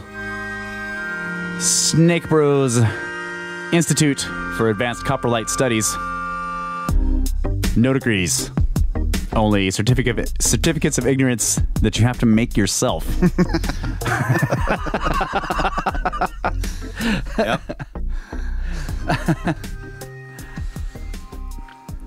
so, yeah, we got it. Vermont trip. Yeah. let's go ahead. Let's do that. Should we do that? So, oh, one one real quick thing, uh, Demian. I wanted to. Uh, so I got all these email forwarding emails, and um, I wanted to give out uh, special forwarding emails if you want them. I wanted to offer one to Demian. yes. So send us an email. Tell us what you want your email to be, and I'll make What are the one. options? Well, I have snakebro.com and I have scripthard.com. but I also have brothersoftheserpent.com. That's right. Uh, So they're forwarding emails, which means Kyle will set it up to where Whatever email you use is where you will receive the email, right. but you can give out this different address. Yeah. So again, you won't be able to send emails from that address, but you will be able to if if, you give it out and someone writes an email to it, it will go to your whatever email you give me that is your personal email. It'll Yeah. just go to that one because I'll put that in as the forwarding email. Right. So I was going to start giving these out to people who donate to the show. So um, if you're interested and you donate to the show, Yeah. Any of the pat- any of the other Patreon subscribers, Yeah. guys, Robert, uh, uh, sorry, I can't remember all the names, but those of you who are on the Patreon, feel free to let us know which one you want, snakebro.com or brothersoftheserpent.com or scriptard.com. uh, give the email that you want it to be sent to and then what you want at the front of the email. So like, you know, if you if you want Johnson. yeah, at Johnson Skirptard. at scottscriptard.com. yeah, there you go. Jesus, Johnson. So they're all domains that we own, but I I, I don't have. Demian called herself Sister Snake. And I don't Yeah. have sistersnake.com. Right. So it should be sister snake at snakebro.com. There you go. that's, that's good. We should get snakeforce.com too. Yeah, yeah, That's yeah, what you want right there. Yeah. Blah, blah, blah. It's Snake Snake, Bros, Force. Snake Force. Yeah, Snake Bros, snakeforce.com. Uh, I do have one, actually, I do have one other thing that I wanted. This is because Pod Doodle is so awesome. This guy has been, Tomas has been making, he's a, has been making pod doodles out of our podcast. So I did it. I finally got around to asking listeners um, what podcast they would like to see him do. So I want to kind of go through some of that if I can find it here. I better look at it somewhere else. Keep him keep him entertained. All right, so I'm, I was just going to move on with the Vermont trip. What am I doing? I'm not moving on. Oh yeah, well, uh, all right, I'll find it later. I'll do it later. Oh, we'll do it at the last the last segment. Yeah, I just got to pull it up. It's a thread that I don't ha- I didn't keep Um, track of. So Vermont trip. So here's the, like I was saying in the beginning of the show. Um, these we we went. Uh, we had we had a couple of places we were determined to go to, and our uncle, uh, Uncle John, had done some background research for us, gotten a hold of some people, found some phone numbers, contacts, um, the where we could get more information. And in one case, um, he contacted a Forest Service uh, guy, and we met with that that man and spent about three hours with him walking Yeah. around the forest. Um, so we so we went to some places that we knew about that are basically considered by the mainstream archaeology to not be anything of importance because they were um, it was basically stuff- Homesteaders, yeah. homesteaders and farmers and stuff that basically threw rocks in piles.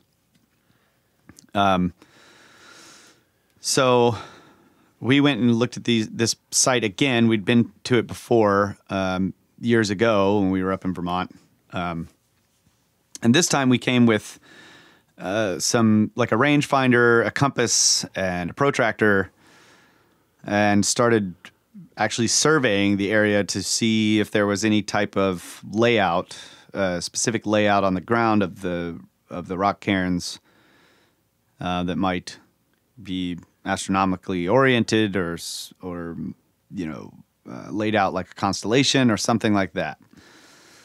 Uh, well, then we found out that someone had already done this research, um, and I don't think that it's public information. That's right. That was the idea that we got. So this is what we have to look into further.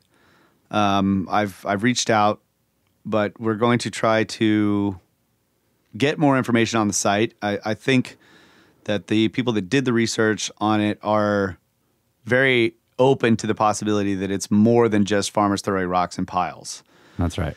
And so, out of respect for those people's work and respect for the the sites themselves, so that they don't get um, looted or whatever, we're at this point not really disclosing any locations and stuff like that. Right. Is that right? Yep. Okay. Because it's kind of weird. Like, imagine, imagine, say, you know, you're just going along and there's there's some pyramid somewhere, but nobody thinks it's important. Yeah. And so, if somebody discovers, hey, you know, this this thing is actually a tomb, right? And that that idea starts to get spread around uh, to the public before the community kind of figures out how they're going to protect the site. Then you end up people with people like with pickaxes picking into it and then dynamiting the side of it and just Yeah. ruining. So it's kind of a weird place to be because we're all about look you know we're all about the the ability to go and see these sites and and and uh, look into them study them and that's great but at the same time you know uh, if people think th- the other side of it is if people think that it's just farmers throwing rocks in piles it could also be destroyed because no one cares and this is what Yeah. happened with a lot of the mounds in the mississippi valley That's they, right. didn't- they didn't think there was anything important about them Yeah. Well, they did at first, and then eventually the scientific consensus led them to believe that they weren't really important, and then they got destroyed. exactly Yeah.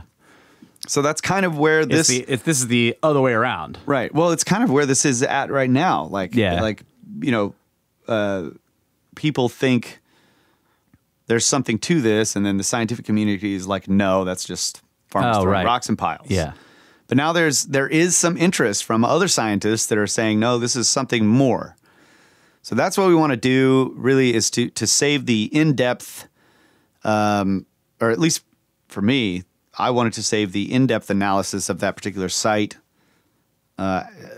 for after I can at least establish contact with the with the people who did the research and see kind of you know what they're willing to share, what they would be willing to um, maybe if come come on the show, talk about it yeah. us. That would be awesome. That would be great. So yeah, it's very very interesting stuff. But Well, do you want to give like some impressions of, or do you want to wait on that completely and just talk about the other stuff? uh, yeah, I'm fine. With Well, I mean, you know, it's up to you. Like you're the one doing that work, so uh, we could just save the entire topic for whenever we can get a hold of them. Or, I mean, I'm fine with that. Just wondering. yeah, I don't know. Safe bet, save it. Yeah. Okay. because I'm really wanting to um, not not start out on a uh, you know on the wrong foot with with these people Yeah. because I i it's full disclosure on my end like hey we have a podcast like we want to talk about this stuff to the public Right. so yeah my gut feeling is just save it Okay. until I can at least get a feeling for where they're at and then I'll know what to do Yeah. All right, cool. So the other thing we did, aside from that site, was you guys have heard us tell this story before, or um, like dedicated listeners will have heard us tell the story. Have heard us told the story before about looking for the cave that the Vikings built. yeah We've told that story about how we heard there was a standing stone or something like that, a stone circle or maybe a standing stone, a monolith somewhere in the hills in Vermont. And six years ago or so, we were up there and we were kind of driving around with our uncle. Uh, he had a general idea of somebody had told him, gave him like a general idea of where it was. So we were driving around the area and we eventually stopped and asked a guy on the side of the road. We saw him pulling up and we asked him on the side of the road. And we're like, you know, is there, there a standing stone or anything like that? And he's like, nothing like that around here. Just a cave up there that the Vikings built, basically. And we were like, yeah, that thing is what we're looking for. And we never found it. So uh, this time, while we were at the other site with the um, with the uh, the forestry service guy, who was sort of giving us a tour, he asked us, "Have you been to calendar one and calendar two? And we had John, uh, our uncle, had done some research and found a guy who talked about the, these sites and sent us some links to it um, that spoke. It was mostly that guy was talking about what's called America's Stonehenge, which is in New Hampshire Yeah, that's right. And then there's some stuff up in Maine. Uh, but he mentions in the web the web page that uh, that Uncle John sent us. The guy mentions calendar one and calendar two in Vermont.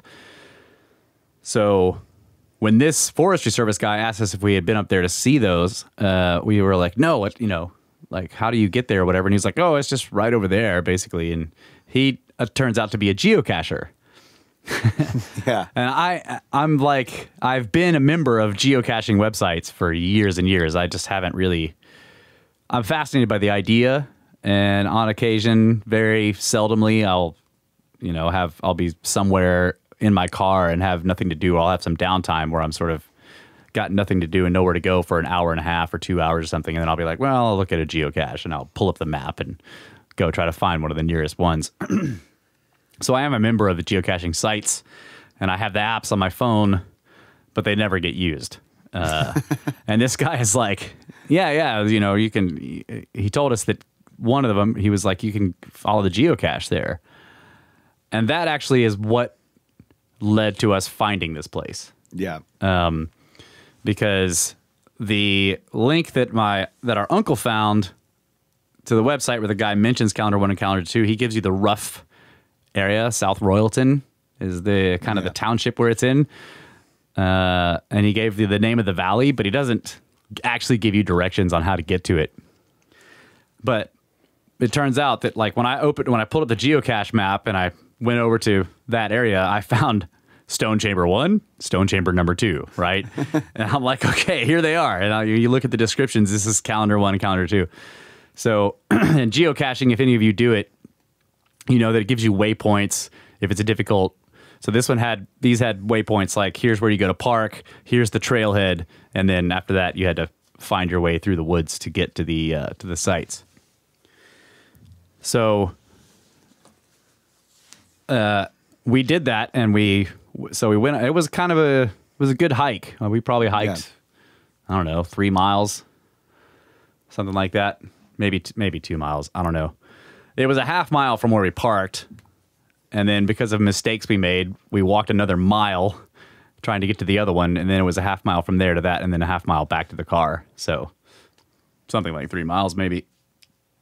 But the these were actually uh, well the first one which is called calendar 2 is actually a chamber so when we when we got up to it it's actually there's a, a little um like a hill and there's just a stone door in the side of the hill like stacked stones and then lintel over the top. The stones are exposed but it's kind of green and grown up all around it. And you you just walked up to that and sort of sidled your way through the passageway which is very narrow. Uh, and then in the back it opened up into a very small chamber back there that had a um, some kind of skylight, or Skylight, yeah. smoke ch- chimney something out up to the top but it was surrounded by ruins all around the woods there Yeah.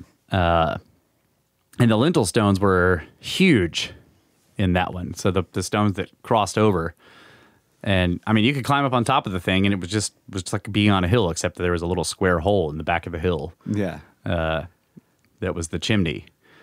So that was really cool, and it's supposedly aligned right to something.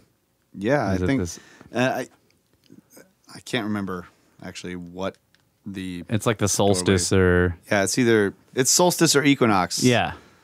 alignment. Now I can't remember it's in the deep woods, so I don't know how easy it would be to tell. Like if you were there on the solstice. Can you look up calendar two alignment watcher? and check that out. Yeah.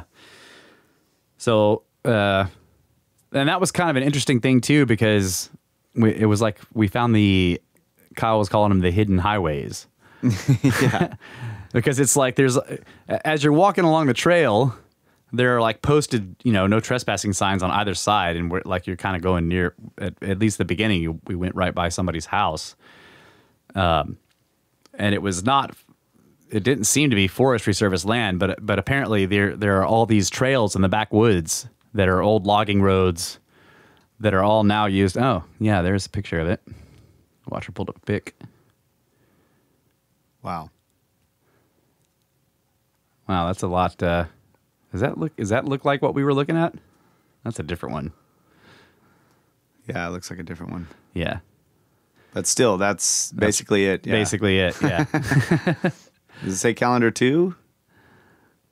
But anyway, yes, that's that's calendar two. So when we saw it, it was much more overgrown. They might have cleared uh, some of the moss or something off of the Yeah. stone structure on the exterior.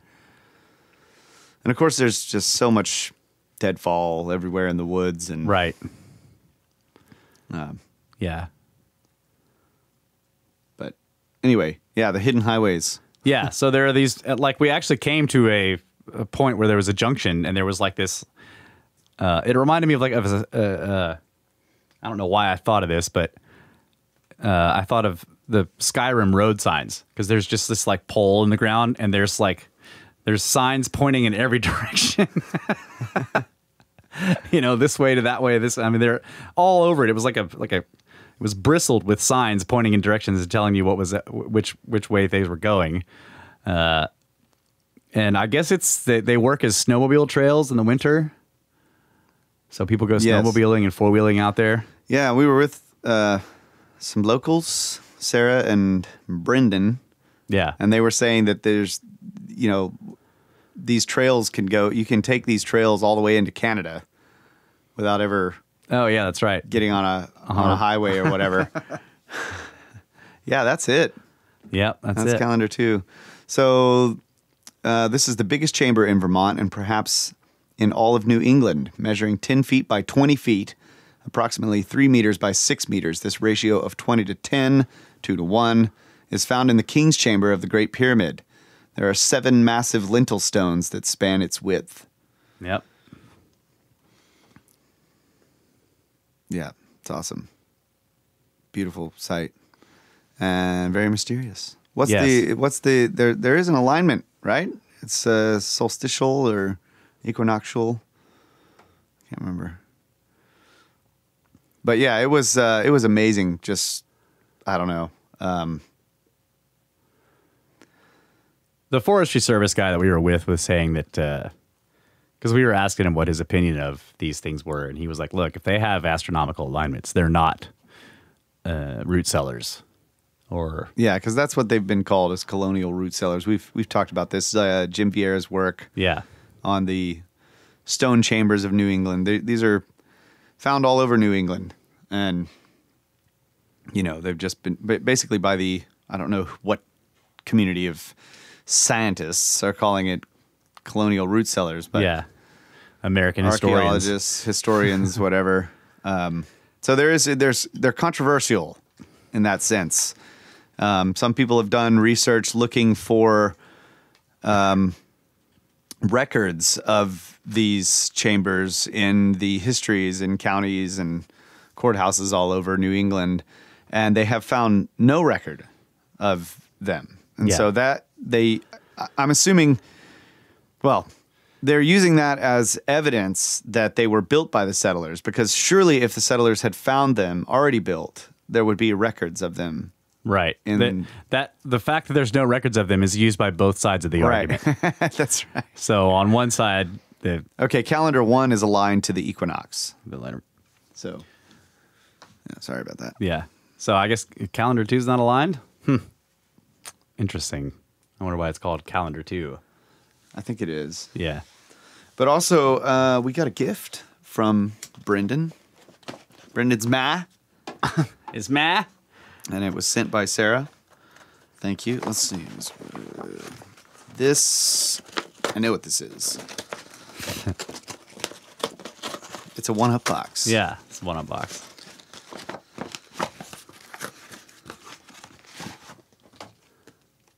Wow. This is a book called Manitou, if I'm pronouncing that right. The Sacred Landscape of New England's Native Civilization by James W. Mavor Jr. and Byron E. Dix. D I X. X. So, yeah, the, the calendar one and two sites are in this book somewhere.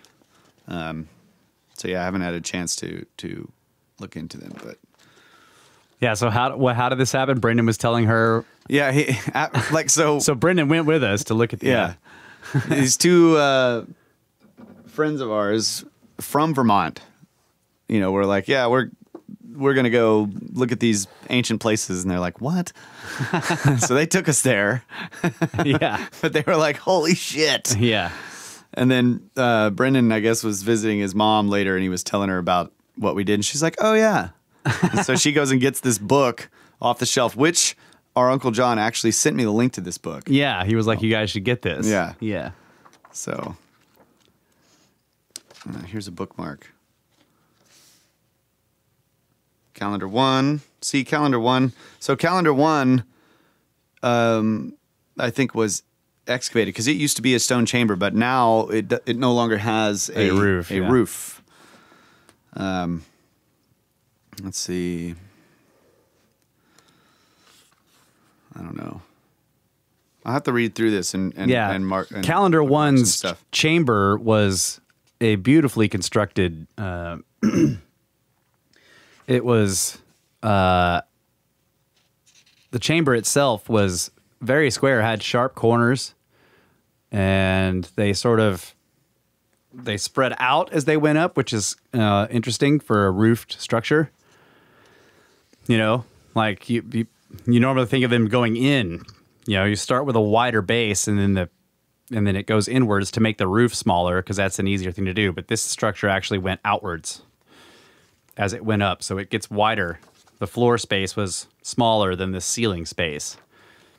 Of course, there was no lo- no longer a roof over it, so it looked more like a um, a square well.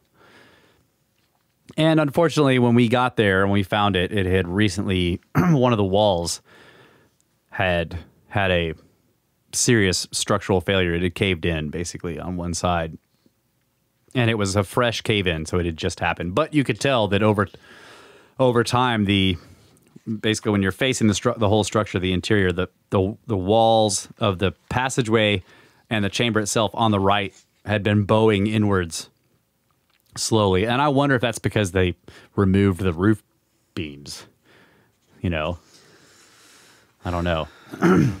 anyway, it was kind of scary to walk through the passageway because you were the as you squeezed through the pa- you had to turn sideways to walk through the passageway and the wall on the right was squishing you against because it was bowed in so much it would squish you against the wall on the left as you went through and it was a very unsettling sensation. You're you, it looked like it could fall at any minute uh, because the the passageway itself was still closed over but the but once you got into the chamber it was open to the sky because the I guess the roof beams had been removed at some point so and the the cool thing about the geocaching is that people take records, people record when they've been there, and some people take pictures and stuff. And so when I looked at the geocaching records, that people were saying, "Oh, the wall on the left or uh, on the the wall on the right is actually bowing in a bunch, and it looks dangerous." But the pictures still had the chamber intact. So when we got there and we found it was had collapsed. So that's very unfortunate. It, it probably isn't going to last much longer at this point. Once that collapse starts, it rain and other things will start to erode it pretty fast. So pretty soon Yeah. it'll probably just going to be a pile of rocks. Yeah, calendar one was definitely excavated. I'm seeing it here in the book. They uh, 1978. They excavated it. So some big standing stones and stuff. Anyway, this is uh, let's see. Calendar one has a ridge line to the east, which makes the sunrise off from due east. Yeah. Yes. So they are. So th- the point. Okay. So Ah.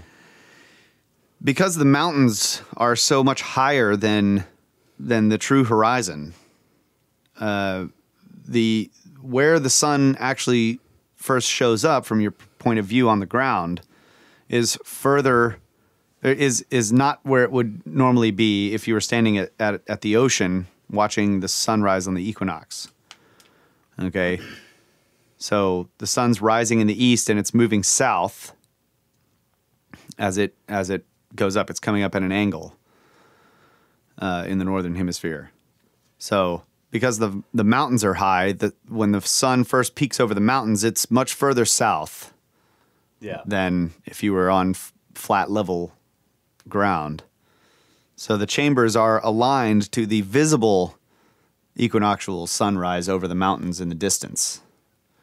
So you can't like if you go there with a compass and you're you're not there on the sunrise to see, you can't tell. Like well you won't know where the actual sun would peak over the horizon on- or the over the mountains on that day. So it's aligned to where the sun peaks up, or is it aligned to the actual? No, it's aligned to where the sun comes up over the Okay. mountains. Yeah. All right. because it actually does and uh, there's there's apparently some other alignment stuff around the area So we know that that chamber was built after those mountains got put there. that's right there's one piece of evidence It narrows the date down a bit. yeah anyway it was a really fascinating um i don't know great experience finding those things finally Yeah. after all these years of hearing about that Right. Calendar. cave that the vikings built Yeah. Calendar two was really, really a beautiful thing. yeah Uh, calendar one was also beautiful, but it was sad because it's clearly falling apart. yeah And I wonder, you know, I mean, where were the, if they excavated it, where were the roof stones? They just tossed them to the side or something? I mean, yeah i'm i'm assuming it was roofed yeah. um i'm, I'm gonna have to read this book yeah. so But it was a great expedition, uh, great adventure. yeah and uh, it was the uh, the success of a six year long quest to find the cave that the Vikings built.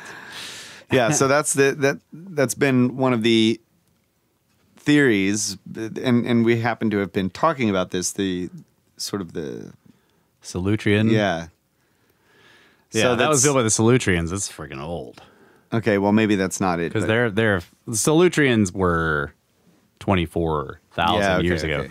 Um, and they may have, and the idea was that they influenced the Clovis technology. that's right. So Clovis were pre end of Younger Dryas or whatever. So that would put it at you know, twelve thousand years ago. yeah They're Vikings were a lot more recent. right well i was thinking of uh the what what's uh, i'm trying to think of the other guys that have been attributed to perhaps the um, the copper mines, the Michigan copper mines, and, and Oh, some of that other. the Minoan civilization or the Phoenicians. yeah, no, the Minoans from Yeah, Crete. Yeah, from Crete. So They don't yeah, really. the Celts, the work of the Celts. Oh yeah, that's the Celts. They don't. Uh, okay, so yeah, so there are. we did look through some of that stuff. Some people think that they can see Ogham Ogham script in some of the stones. Other people, scriptards, are like those are just scratches from the chains of the farmers that were moving them around. yeah, Uh, So the it's all up in the air, but I think the standard model at this point treats them like colonial artifacts.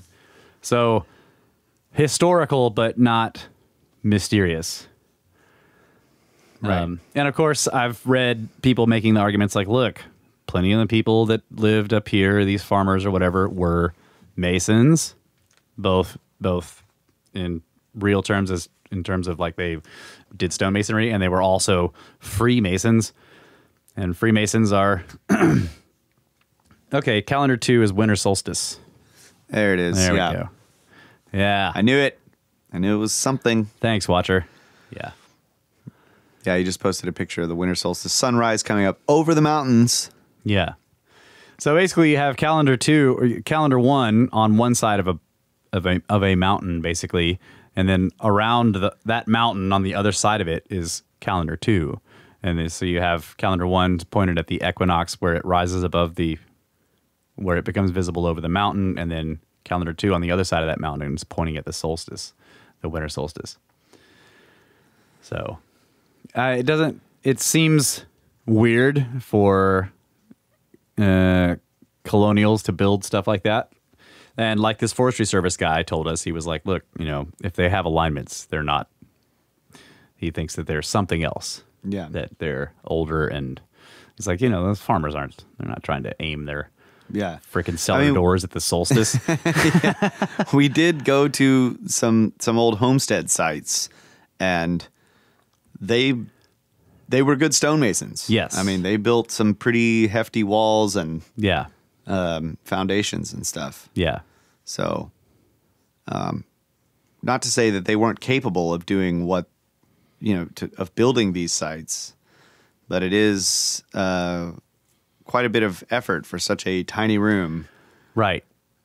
And the cellar sites that we saw, the old homestead sites that were cellars, there it, it's it was a farm, and there's other there's obvious other places there, and also so the Forestry Service guy was like, look, we we um, they have very old pictures from the late 1800s of the actual buildings that were in this place, but where calendar one and calendar two were, there's just no sign of.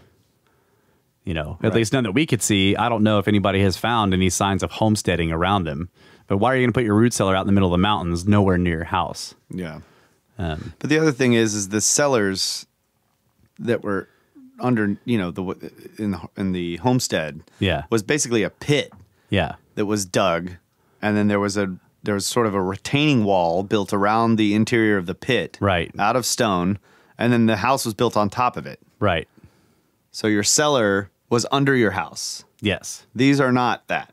right, right. These are stone chambers. Like the entire thing was roofed over with massive stones. Yeah, and it's just a little hill. Yeah. So, a man-made hill, basically. Uh, and there, so around calendar two, there were other, what looked like maybe collapsed stone things. Yeah. Um, but yeah, I don't. It didn't look like there was a homestead there.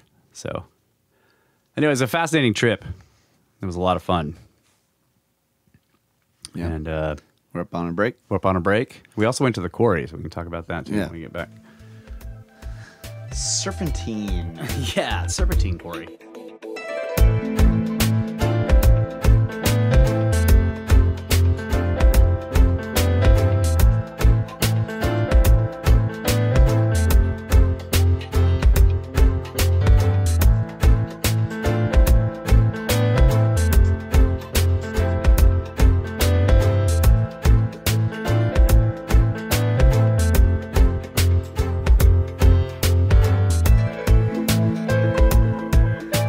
We're back, ladies and gentlemen. Final segment. Uh, and I must apologize for not being prepared. For- uh, yeah, it's just been real busy since we got back from the trip, so Yeah. haven't really um, had much time to to think about and look into all of this stuff that we did go see, but uh, it shall be forthcoming. So Yes. um, we did just get this book as well. I knew it was coming. Thank you, Brendan and Sarah, And and, Bren- Brendan's mom. Nah. Uh, so, yeah, interesting synchronicity there. Uh, so I'm going to go through that and uh, also hopefully get a hold of the, um, the people who did uh, work on some of the other sites and have some really cool stuff to present to you guys about um, our own backyard. Yeah. So that's that's one of the things that that's been on my bucket list for a, a long time, uh, since long before we started the podcast, was to go vi- uh, begin visiting these stone chambers and things in in New England. Also, of course, all of the, um, you know, the Mississippi Valley mounds and Yeah. all, all all of these Yeah. earthworks uh, that that are here in the United States. Um, so we got to do some of that when we were in uh, Pagosa Springs uh, with the Grimerica boys and Yeah. Randall Carlson, and that was really awesome. Uh, so this is this is just another thing like this, seeing that stone chamber, the the Calendar Two site for the first time. We came around the bend, and there it was, like that Yeah. that dark doorway. It, I mean, just the way the woods were, you, these huge, tall trees and the, the canopy, it was all dark under there and the ground is real soft and the leaves were all changing colors and it was just the the the whole feeling in the woods in that part of the, of the country is uh, already sort of uh, Magical. yeah, magical experience for sure. And and so you come around and then you just see this otherworldly thing, you know, this mound. it- It's just who knows how old it is and what purpose it, you know, why was it there, and it's just the whole mystery of the thing and and uh, the beauty of it all at once uh, was was a a great experience, and I can't wait to go visit some of the other ones around New England next time we're uh, in that part of the world. Yes. So definitely recommend uh, any of you in that area, or if you're ever visiting that area, New England area, um, look up New England Stone Chambers. Uh, there's they're like I said, they're all over the place. Look up Jim Vieira. He um, has some YouTube videos uh, presenting slideshows on on many of these chambers and talking about the stonemasonry involved, uh, the methods that must have been involved in building them, uh, the weight of some of the stones, and a lot of just a lot of data about it that's very mysterious. Uh, the astronomical alignments. Uh, it's a fascinating topic. So we were we were very glad to finally end Yeah. our quest. Yes. Our initial quest to find the cave that the Vikings built, in quotes. and it's funny because we we made a wrong turn when we were in the area, and of course Russ and I weren't driving. We didn't know, you know, we're just in the back back seats or whatever. But we're going around and we're like, no, this is not it. Where are we going? And Russ's GPS isn't working well, and he's got the he's got the um, the geocache site up, and he you know he's waiting for the, the the blue dot to move to where we actually are. yeah. Um, and in that process, we made some wrong turns, and we're going, we're driving along, and and I start to recognize the, the area. I'm like, wait a minute, there's that guy's house Yeah. that we pulled over and talked to, and he, you know, he was the one that was pointing, yeah, go up there over at the old man's house. Don't let him see you though, you know. And we were just like, man, I don't know about trespassing on these people's property. So it was really great to have Brendan and Sarah there as well because um, they understand the hidden highways. Yeah. You know, as I call them. I think they were called pass roads, uh, if I remember correctly what they called them. But um, there, yeah. So we we would have been. I'm extremely uncomfortable with the idea of just like hiking onto someone's private property. You Yeah. know, we're we're like real walking on their four wheeler trail. yeah, we're Yeah. we're real serious about that around here, and I I wouldn't want to do that. But we had the the the Forest Service guy had told us, no, you know, you can you can get there. There's a path, and you know, so it's totally legit. Yeah, we knew But, that. But when we got there, you know, I was like nervous because I'm like, man, we're just turning up this road, and yeah, we there's start like posted, you know, no trespassing Yeah. signs all along and it. and and so uh, Sarah was just like, we, we pass a sign that's on there, and it has like a number on it, and it has a little snowmobile, Yeah, which we call snowmobile wheels. snowmobile wheel. uh, had a little snowmobile, wheel, you know, image on there of a guy on a snowmobile wheel with a number, and she's like, "Oh yeah, this is one of the, you know." So the way it works, I guess, is these once these paths are used over a certain amount of time, it's sort of like Uncontested. yeah, it's sort of like grandfathered in as Yeah. a almost like an easement. They cannot close the path to to um, travelers. Yeah. So it's it's it's kind of cool too to think about, you know, these these different um, sort of hidden things about about our culture. Yeah. And and you imagine, you know, like in a in a disaster scenario, Yeah. somebody can, you know, th- these people that live in the area and know about all this, and you know, it's sort of an unspoken thing, but they all know, like, you know, where is Yeah. everything? Like, all the highways are dead, but people are getting around. yeah. You know? Yeah. You can block all the highways you want. You're not going to Yeah. stop those emotions from getting around. yep. We're going up to Canada tomorrow. That's right. So that was it. Was a really great experience. Um, can't wait to do it again. Yeah. Yeah. The Watcher says Vermont apparently has 40 some odd stone chambers. So Yeah. get the geocaching stuff, people, if you want to go see them. That's uh, the, well, a lot of them are marked with the uh, on the geocaching places, and they give you directions and stuff like that, which is really cool. Yeah. So Serpentine expedition number four. yeah. so right next to uh, right next to our uncle's property is a serpentine quarry. So it's serpentine is a green marble, and uh, I mean it's not it's it's through the woods basically. But the guy who now who owns the quarry currently is good friends with my uncle, and they kind of hang out, and so they so he told him like, hey, these guys are my nephews are coming up, and uh, they'd love to talk to you because you know he knows that we're interested in how people quarry how like the the, the we're interested in this aspect because this is something that ancients had to do and so we're and we're also interested in people moving heavy loads. So this guy that's what he does. He cuts giant blocks out of the out of the out of the earth and moves them around so yep, that's it. Watcher just pulled it up. yep A winter That's picture. It. That is the so that quarry has been in operation since the since the late 1800s. Uh, it has gone through many owners. The current owner is awesome, a guy named Tom, really cool guy, uh, highly energetic. You know, just like works harder. That he's the boss than the owner, and he works harder than anybody. All of his crew. Um, and he took us on a whole tour of the quarry, showed us all, told, told us about his plans. Uh, we asked him questions about. Uh, so, so he showed us the like one of the faces they're working on. So, like you know, a, a quarry face is the this is where you're actually getting material that you're wanting to sell or use or whatever. Um, so the quarry itself has a deep pit. There's a there's a 200 foot deep hole that has been quarried over the years. Uh, yeah, Watcher's pulling up pictures of it. That's it. And I, we got some really great pictures of it because we actually we actually went down in that hole. Watcher, we actually climbed down in there all the way to the bottom. So that was really cool. Uh, yeah, you see that you can see the the stairs at the back, The scaffolding. and the scaffolding in the back. We walked down that. it was awesome.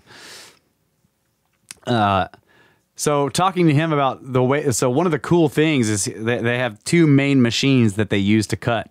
Uh, one of them actually runs a wire. He called it a wire, but it's, It's, actually it's kind of like a chain. It's, Yeah. It's it's it's round, or basically you can imagine cylindrical, sort of. like a cable. the the the cutting tools or the cutting edge is kind of like think of like a just a plain ring on your finger. Like Yeah. a, it's like that, but it's it, it's got diamonds embedded in it, and it's uh, it surrounds a a f- me- uh, metal chain that can you can connect the links together, but the links are all cylindrical shaped and they're flexible where they connect. So it's like a rope that has these rings on it that have diamonds embedded in it, and uh, they have a machine that that runs that chain like a chainsaw almost, Yeah. or a rope saw. Yeah. Rope saw. so he showed us a cut that they had made. So the first thing that he said that he called it daylight to daylight. So the first they get up to the area where they want to face the stone. You know, because up to this point you've got like broken rock. And now you want to get a face that's a smooth working surface. Uh, so they get on one side of it with a drill and they just drill all the way through from one side all the way to the other. So daylight to daylight is what he called it. And I mean, uh, how long do you think that was? Like 40 feet? Yeah, Uh, more yeah. probably. Yeah, 40, 50 feet long, just this long drill hole. And then they they fish that chain through there Yeah. and then pull it up or whatever. They bring it up over the top over the of top the hill. of the hill. Yeah. so they fish the chain through the drill hole that they've made way down at the bottom of the hill, bring it up over the top of the hill, and then connect it to the machine on one side or the other, and then turn that machine on and just pulls that chain through there and cuts through the rock and makes a smooth quarry face. And then they can start quarrying blocks or slabs out of that surface. And the, the chain can be used to make vertical surfaces or horizontal ones. So he showed us a couple of the horizontal ones where he's like, see how this is all, what did he call it? Rolly? What Yeah. was his term for it? it he used term. some term that it because it was it wasn't flat. Basically, it was you could tell it had. I think he I think he used the term bushka one time. He's, Yeah. he's kind of Italian. yeah bushed yeah Bushka. He's like, yeah, see this bushka over here is no good. That's right. yeah, so the surface, like at one part, the surface of the ground was sort of uh, had these very smooth uh, contours, and he was saying like we're gonna have to recut this because it needs to be flat. yeah, they have a different type of saw that's actually more like a, what- A chainsaw. conventional chainsaw, but it's huge. Yeah, and it also has you know diamond cutting plates on it. So once they get this sort of rough cut, wavy cut uh, block out of there, then they'll take it over. They'll move it over to their other machine that cuts a very um, regular surface and cut through it with that thing. yeah, and he Cut slabs off of it. right, and and you can see the marks, of the tools on the stone, so you could tell the difference between the chain because the chain leaves these long lines that are arced very very long arcs. And then the arc will slowly change as the chain cuts through the stone. You can see it. Whereas the one that's like a chainsaw where it has a bar and the thing is going around it you can see that as uh, a series of that of this rounded bar shape or long rectangle with a rounded end going down. You can see how that is moving through the stone. Uh, so it's gi- giant chainsaws basically and we looked at a couple of them. They're huge. And he took us down into the quarry hole itself and we were looking at some of the older ways that these quarry guys did it and they actually would drill. Like so that when they wanted to cut a block off they would drill a hole that's say four feet deep and then pull the drill out and then move over an inch and then drill another hole that's four feet deep and then pull the drill out and move over an inch and just do that over and over and over and over again and then they would use something to break the block off the face Yeah. so it had the so you could see the it had this pattern on the face of you know all these all, half half drill holes all the way across, Hu- hundreds of them, maybe thousands going Yeah. around the. Uh, so that must have taken a long time and been a pain in the ass. Um, so that was a really cool experience talking to Tom about. And there's a there's a big gantry uh, crane that hangs over the big hole that he uses to move big blocks up and in and out. But I guess the he the blocks he works with are um, uh, Uncle John was telling us they're so they're they're like below ten tons. They're Yeah. yeah, you know between I guess ten tons or lower. Uh, and then we went up to he's got a part a piece of property that has an old something another mysterious structure on it uh, that he calls a kiln. It may have been a lime kiln or a charcoal kiln or something, way up the side of a mountain, and it's built into the side of the mountain out of pretty enormous stones. It's a pretty Yeah. big construction. Uh, it also has suffered damage recently. They cleared out around it, and there was a big tree above it. And after they cleared out around it, a big windstorm came and blew that tree down, and so it pulled half the structure down Yeah. unfortunately. So he wants to rebuild it. Um, and we might, we might uh, be able to help him with that because that would be cool. A cool Yeah. project. Go up there and help him rebuild the thing. But yeah, we went up there with him and looked at that and talked about what he thought was going on there. And it's not really clear what the thing is. And now that it's fallen in, it's hard to tell. But it used to have an entrance at the bottom yeah. Small, small hole. yeah, and he was talking, and so they, and they had a source of water. So there's a little pond, and then up above there's a spring somewhere, and then there's this clay material in the area. And he was thinking that they may have been uh, making they they were mining they were mining some kind of something from the from that area, and that's why they had the kiln there, and they were doing some sort of uh, smelting process or something that required heat. So, very interesting stuff. we had a conversation with him about the pyramid builders, Yeah, which is really funny. And uh, he he totally disagreed with us on our on on the idea of you know the ramp building thing. He's like, oh yeah, obviously they built ramps. You know, they they you know he's like. So then we start talking about moving heavy loads without your crane and all this kind of stuff, and and using uh, wood rollers and. He was just all about it. He was like, "Yeah, yeah." He's like, "I can do it." You know, I challenged him. I was like, I, uh, let's. I was like, you got blocks that weigh tons. Let's get one, and then I want to see you roll that block somewhere on wooden rollers. and like, the, it was hilarious how he reacted. He took me up on the bet, and then bet me a thousand and then ten thousand dollars that he could do it, and then later said that he didn't even need to bet me about it because I knew he pointed at me. He's like, he knows it can be done. like, because his wife was actually like, you should do it. And he was like, I don't need to do it. I mean, he, he knows. it's like his way of getting out of the whole thing when I challenged him to it. I was like, dude, you've got all the stuff. We've got plenty of wood here. Let's cut down some trees and get one of your really big blocks and let's roll it across something and see if those blocks don't just fall apart. And he's like, oh, yeah, if, the, if the logs don't fall just, apart. the- yeah, I'm sorry. The, the, the logs don't just completely turn into splinters. And like he takes me up on the bet, ca- calls it a thousand dollars, raises it to ten thousand dollars within a couple of words, and then later says that it doesn't even even to happen because I agree with him that it can be done. so it was hilarious. a lot of fun talking to the guy. yeah. I think part of what it was because he said a couple of times he's like, "Look, they didn't use like some woo, you know, like magical." And I was like, "No, yeah," because so like this is one of those deals where, you know, uh, you have to tell the person like, "Look, we're not talking about aliens and we're not talking about magic. We're saying that they were more technologically advanced than they're given credit for." Yeah, but he's also the type of person that's just like he's he's one of those people that just does things. You Yeah, know, like yeah. I'm gonna buy a quarry. Yeah, yeah, and just start cutting these massive blocks out of this hole. right. And so, you know, he he looks at he has a way of looking at these types of projects, obviously, and he's just like, yeah, you know, I I could I could do that. Right. You know, if I if I had to, if I was there, I Yeah. make it happen with with hemp and ropes and copper tools. Right, and he knows that. I don't have to do it. He knows.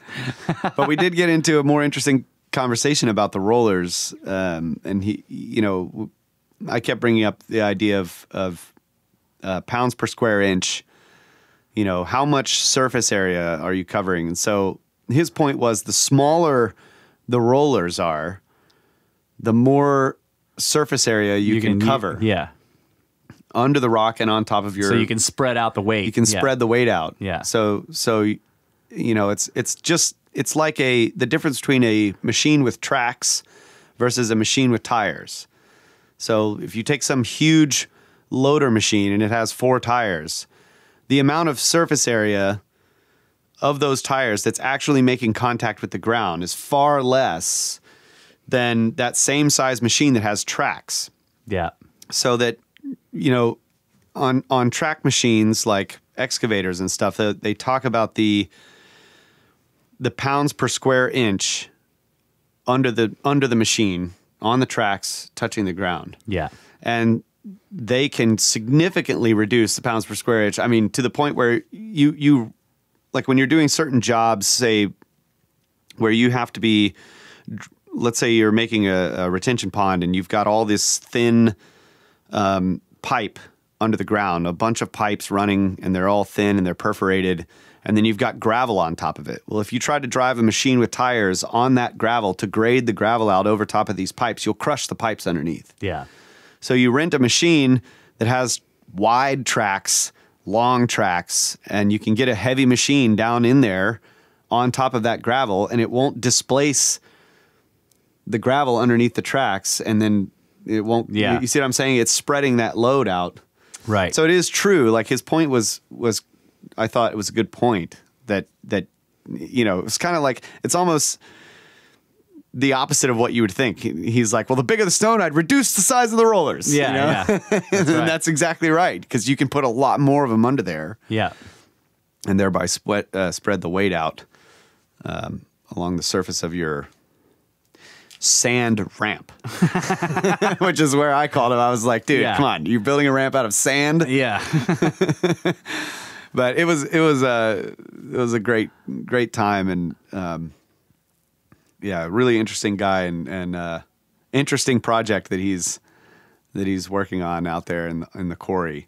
Yeah. They're actually right at the at the, so that quarry is you know obviously it's it was early 1900s or late 1800s or whatever, and it's got that just this huge hole, and it's so far down there, and their their crane time having to lift up and move over and all the stuff of these blocks they're they're Yeah. they're wanting to reduce their crane time so that he's actually cutting this massive trench in the ground uh, to, from way far away from the quarry to meet up with the quarry to like, Like break in- halfway down. Yeah, break into the side of the quarry halfway down. Yeah. So that he doesn't have to lift the blocks out of the quarry as far. right.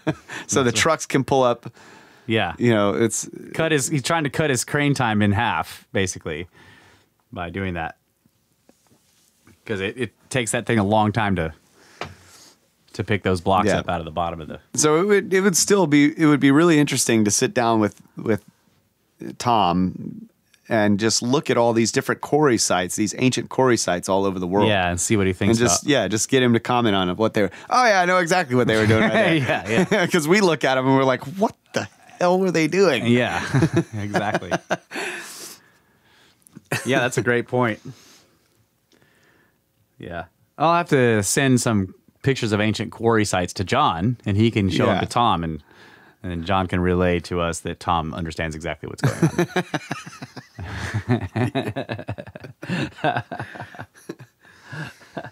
on. what time we got? We're, we're we're there. Oh, okay, we're there. All right. Uh, I have to stretch here. Seventh inning stretch. yeah, snake stretch. Yeah.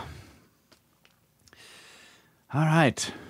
Uh, so next week, I'm hoping, uh, think we are going to have a show with GMA. He's got some. Oh yeah, He's got some. So that may we may be recording that this weekend when he's here. yeah, he's coming down. Yeah. So uh, look forward to that. It will be Oh, that's gonna be a good show. Yeah. So you guys remember episode 80, Impossible Blocks with uh, Archer.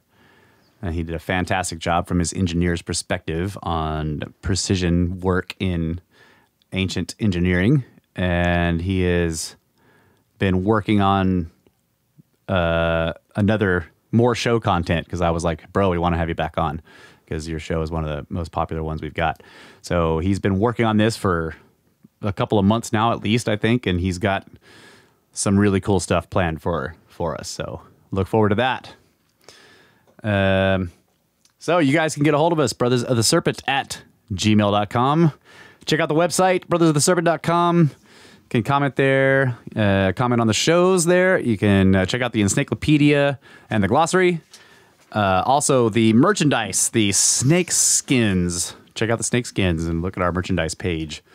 Buy t shirts or hoodies. Hopefully, they're high quality. If they're not, give them to a script art. Uh, follow us on Twitter at Snake Bros, S N K B R S. And uh, share the shows anywhere you can. That always helps. Uh, also, donate to the Pyramid Scheme. Patreon. Uh, Patreon there link is there on the website, uh, or you can just give a one-time PayPal donation. We appreciate everybody who has done that. Thank you guys so much, uh, especially uh, uh, Sebastian and Demian. Damian. Yeah. and our Patreon supporters, Robert. And I'm sorry, I need to remember. I need to get a list of you guys' names so I can give you shouts out, shouts out, shout outs, shouts out. Yeah, those. and give us reviews, uh, especially on the iTunes store. That helps a lot with spreading the podcast. Uh, many of you are doing that. Thank you so much. Um, and remember, if you write something with your review, I mean, like we appreciate all the five star reviews you guys want to give, and we have been getting a lot. So we really appreciate that. But if you write something with your five star review, uh, I'll read it on the show. If it's one star review, I'll still read it. If you give us a one star review, uh, you better write something because we need to know what we're doing wrong so we can do it more because you're an asshole. yeah, and uh, and and definitely if you if you do donate to the pyramid scheme, uh, leave a comment there. Yes. because I'll I'll read that on the show. And if you don't leave a comment, I will still look at your donation and have a snake smirk with uh, warm and fuzzies. That's right. So, Also, uh, History Shift. You guys know about History Shift. We talk about him at the end of every show at History Shift on Twitter. Follow him at his blog, historyshift.com, where, where he uh, details his adventures looking for dolmens and glacial erratics in Montana. Uh, he makes all of the, our, our podcasts into YouTube videos, so you can find us on YouTube. Look up Brothers of the Serpent on YouTube, and you can watch the podcast videos. Poddoodle. Yes. Also, Right. Poddoodle. Uh, so he has been turning our podcasts into like animated. You can watch him sketch while you listen to the podcast. Basically, that's it. He doodles while he while he, while listening to the podcast, and he's using our audio. So you can go to hit Poddoodles on YouTube. I think it's Poddoodle or is it Poddoodle? I don't know. You can look it up. Poddoodle on YouTube. And uh, so I just wanted to say, I asked our listeners, I was like, we want to hear from listeners. What Snake Bros episodes do you want to see done by Poddoodles? And here are some of the suggestions we got. The C word says Gantenbrink and has the dancing in front of the pyramid gif. Uh, History Shift says, how about one of the how about the Randall Carlson episodes, which is would be great.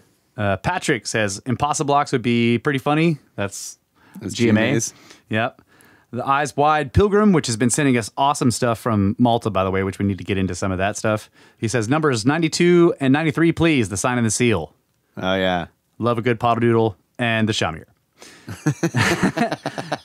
Aaron's old man says anyone where damn it Johnson gets mentioned. so, Thomas, you're gonna have to look through all of our back catalog and find every episode where we say damn it Johnson and turn that into a pod doodle. Uh, I don't even know what, what episode numbers those are. so Loki says uh, the Impossible Blocks episodes with your dad. So that would be uh, Pyramids Are Hard. yeah, Uh, Pyramids Are Hard with your dad springs to mind. yeah. We need to do an episode with Tom. Pyramids are easy. Yeah, Tom would be pyramids are easy. Yeah, he knows.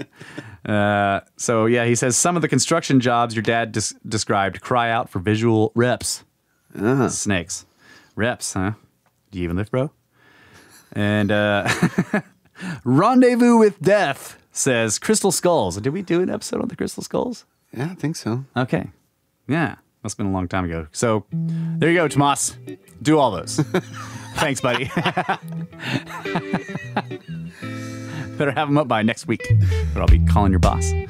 Uh, but yeah, so look him up, Pod Doodle. You can also follow him on Twitter at Pod Doodles. They better be good, or we will send links to a script art.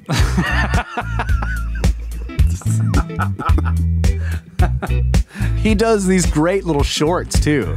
Like recently, he was like getting ready to do the next Snake Bros episode, and it was just a real short animation, and he draws some pyramids, and then that goes away, and then he draws a guy wearing a bowling pin hat with shoulder rivers. Yeah. just went around in a circle like pyramids, bowling pin hat, shoulder rivers. It was great. God, dude tracks me up. Uh, also, the Facebook group, which is man, I should have this pulled up, but it was the same thing. I always gotta I need to write this guy's name down. So the Facebook group run by Jordan. Thank you so much, Jordan, for doing that. Really appreciate it. So yeah, you guys can join the Facebook group, Brothers of the Serpent. The Watcher is there. The Grand Watcher is there.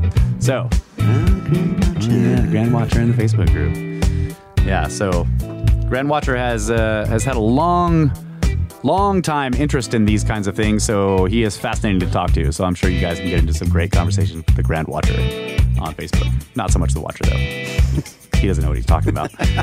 so he can't respond right now. I know his mic's off, so I, I can talk all the shit I want. All right, guys. Thank you so much. We love you guys. Always have. Good night, Adamu. Get back to work.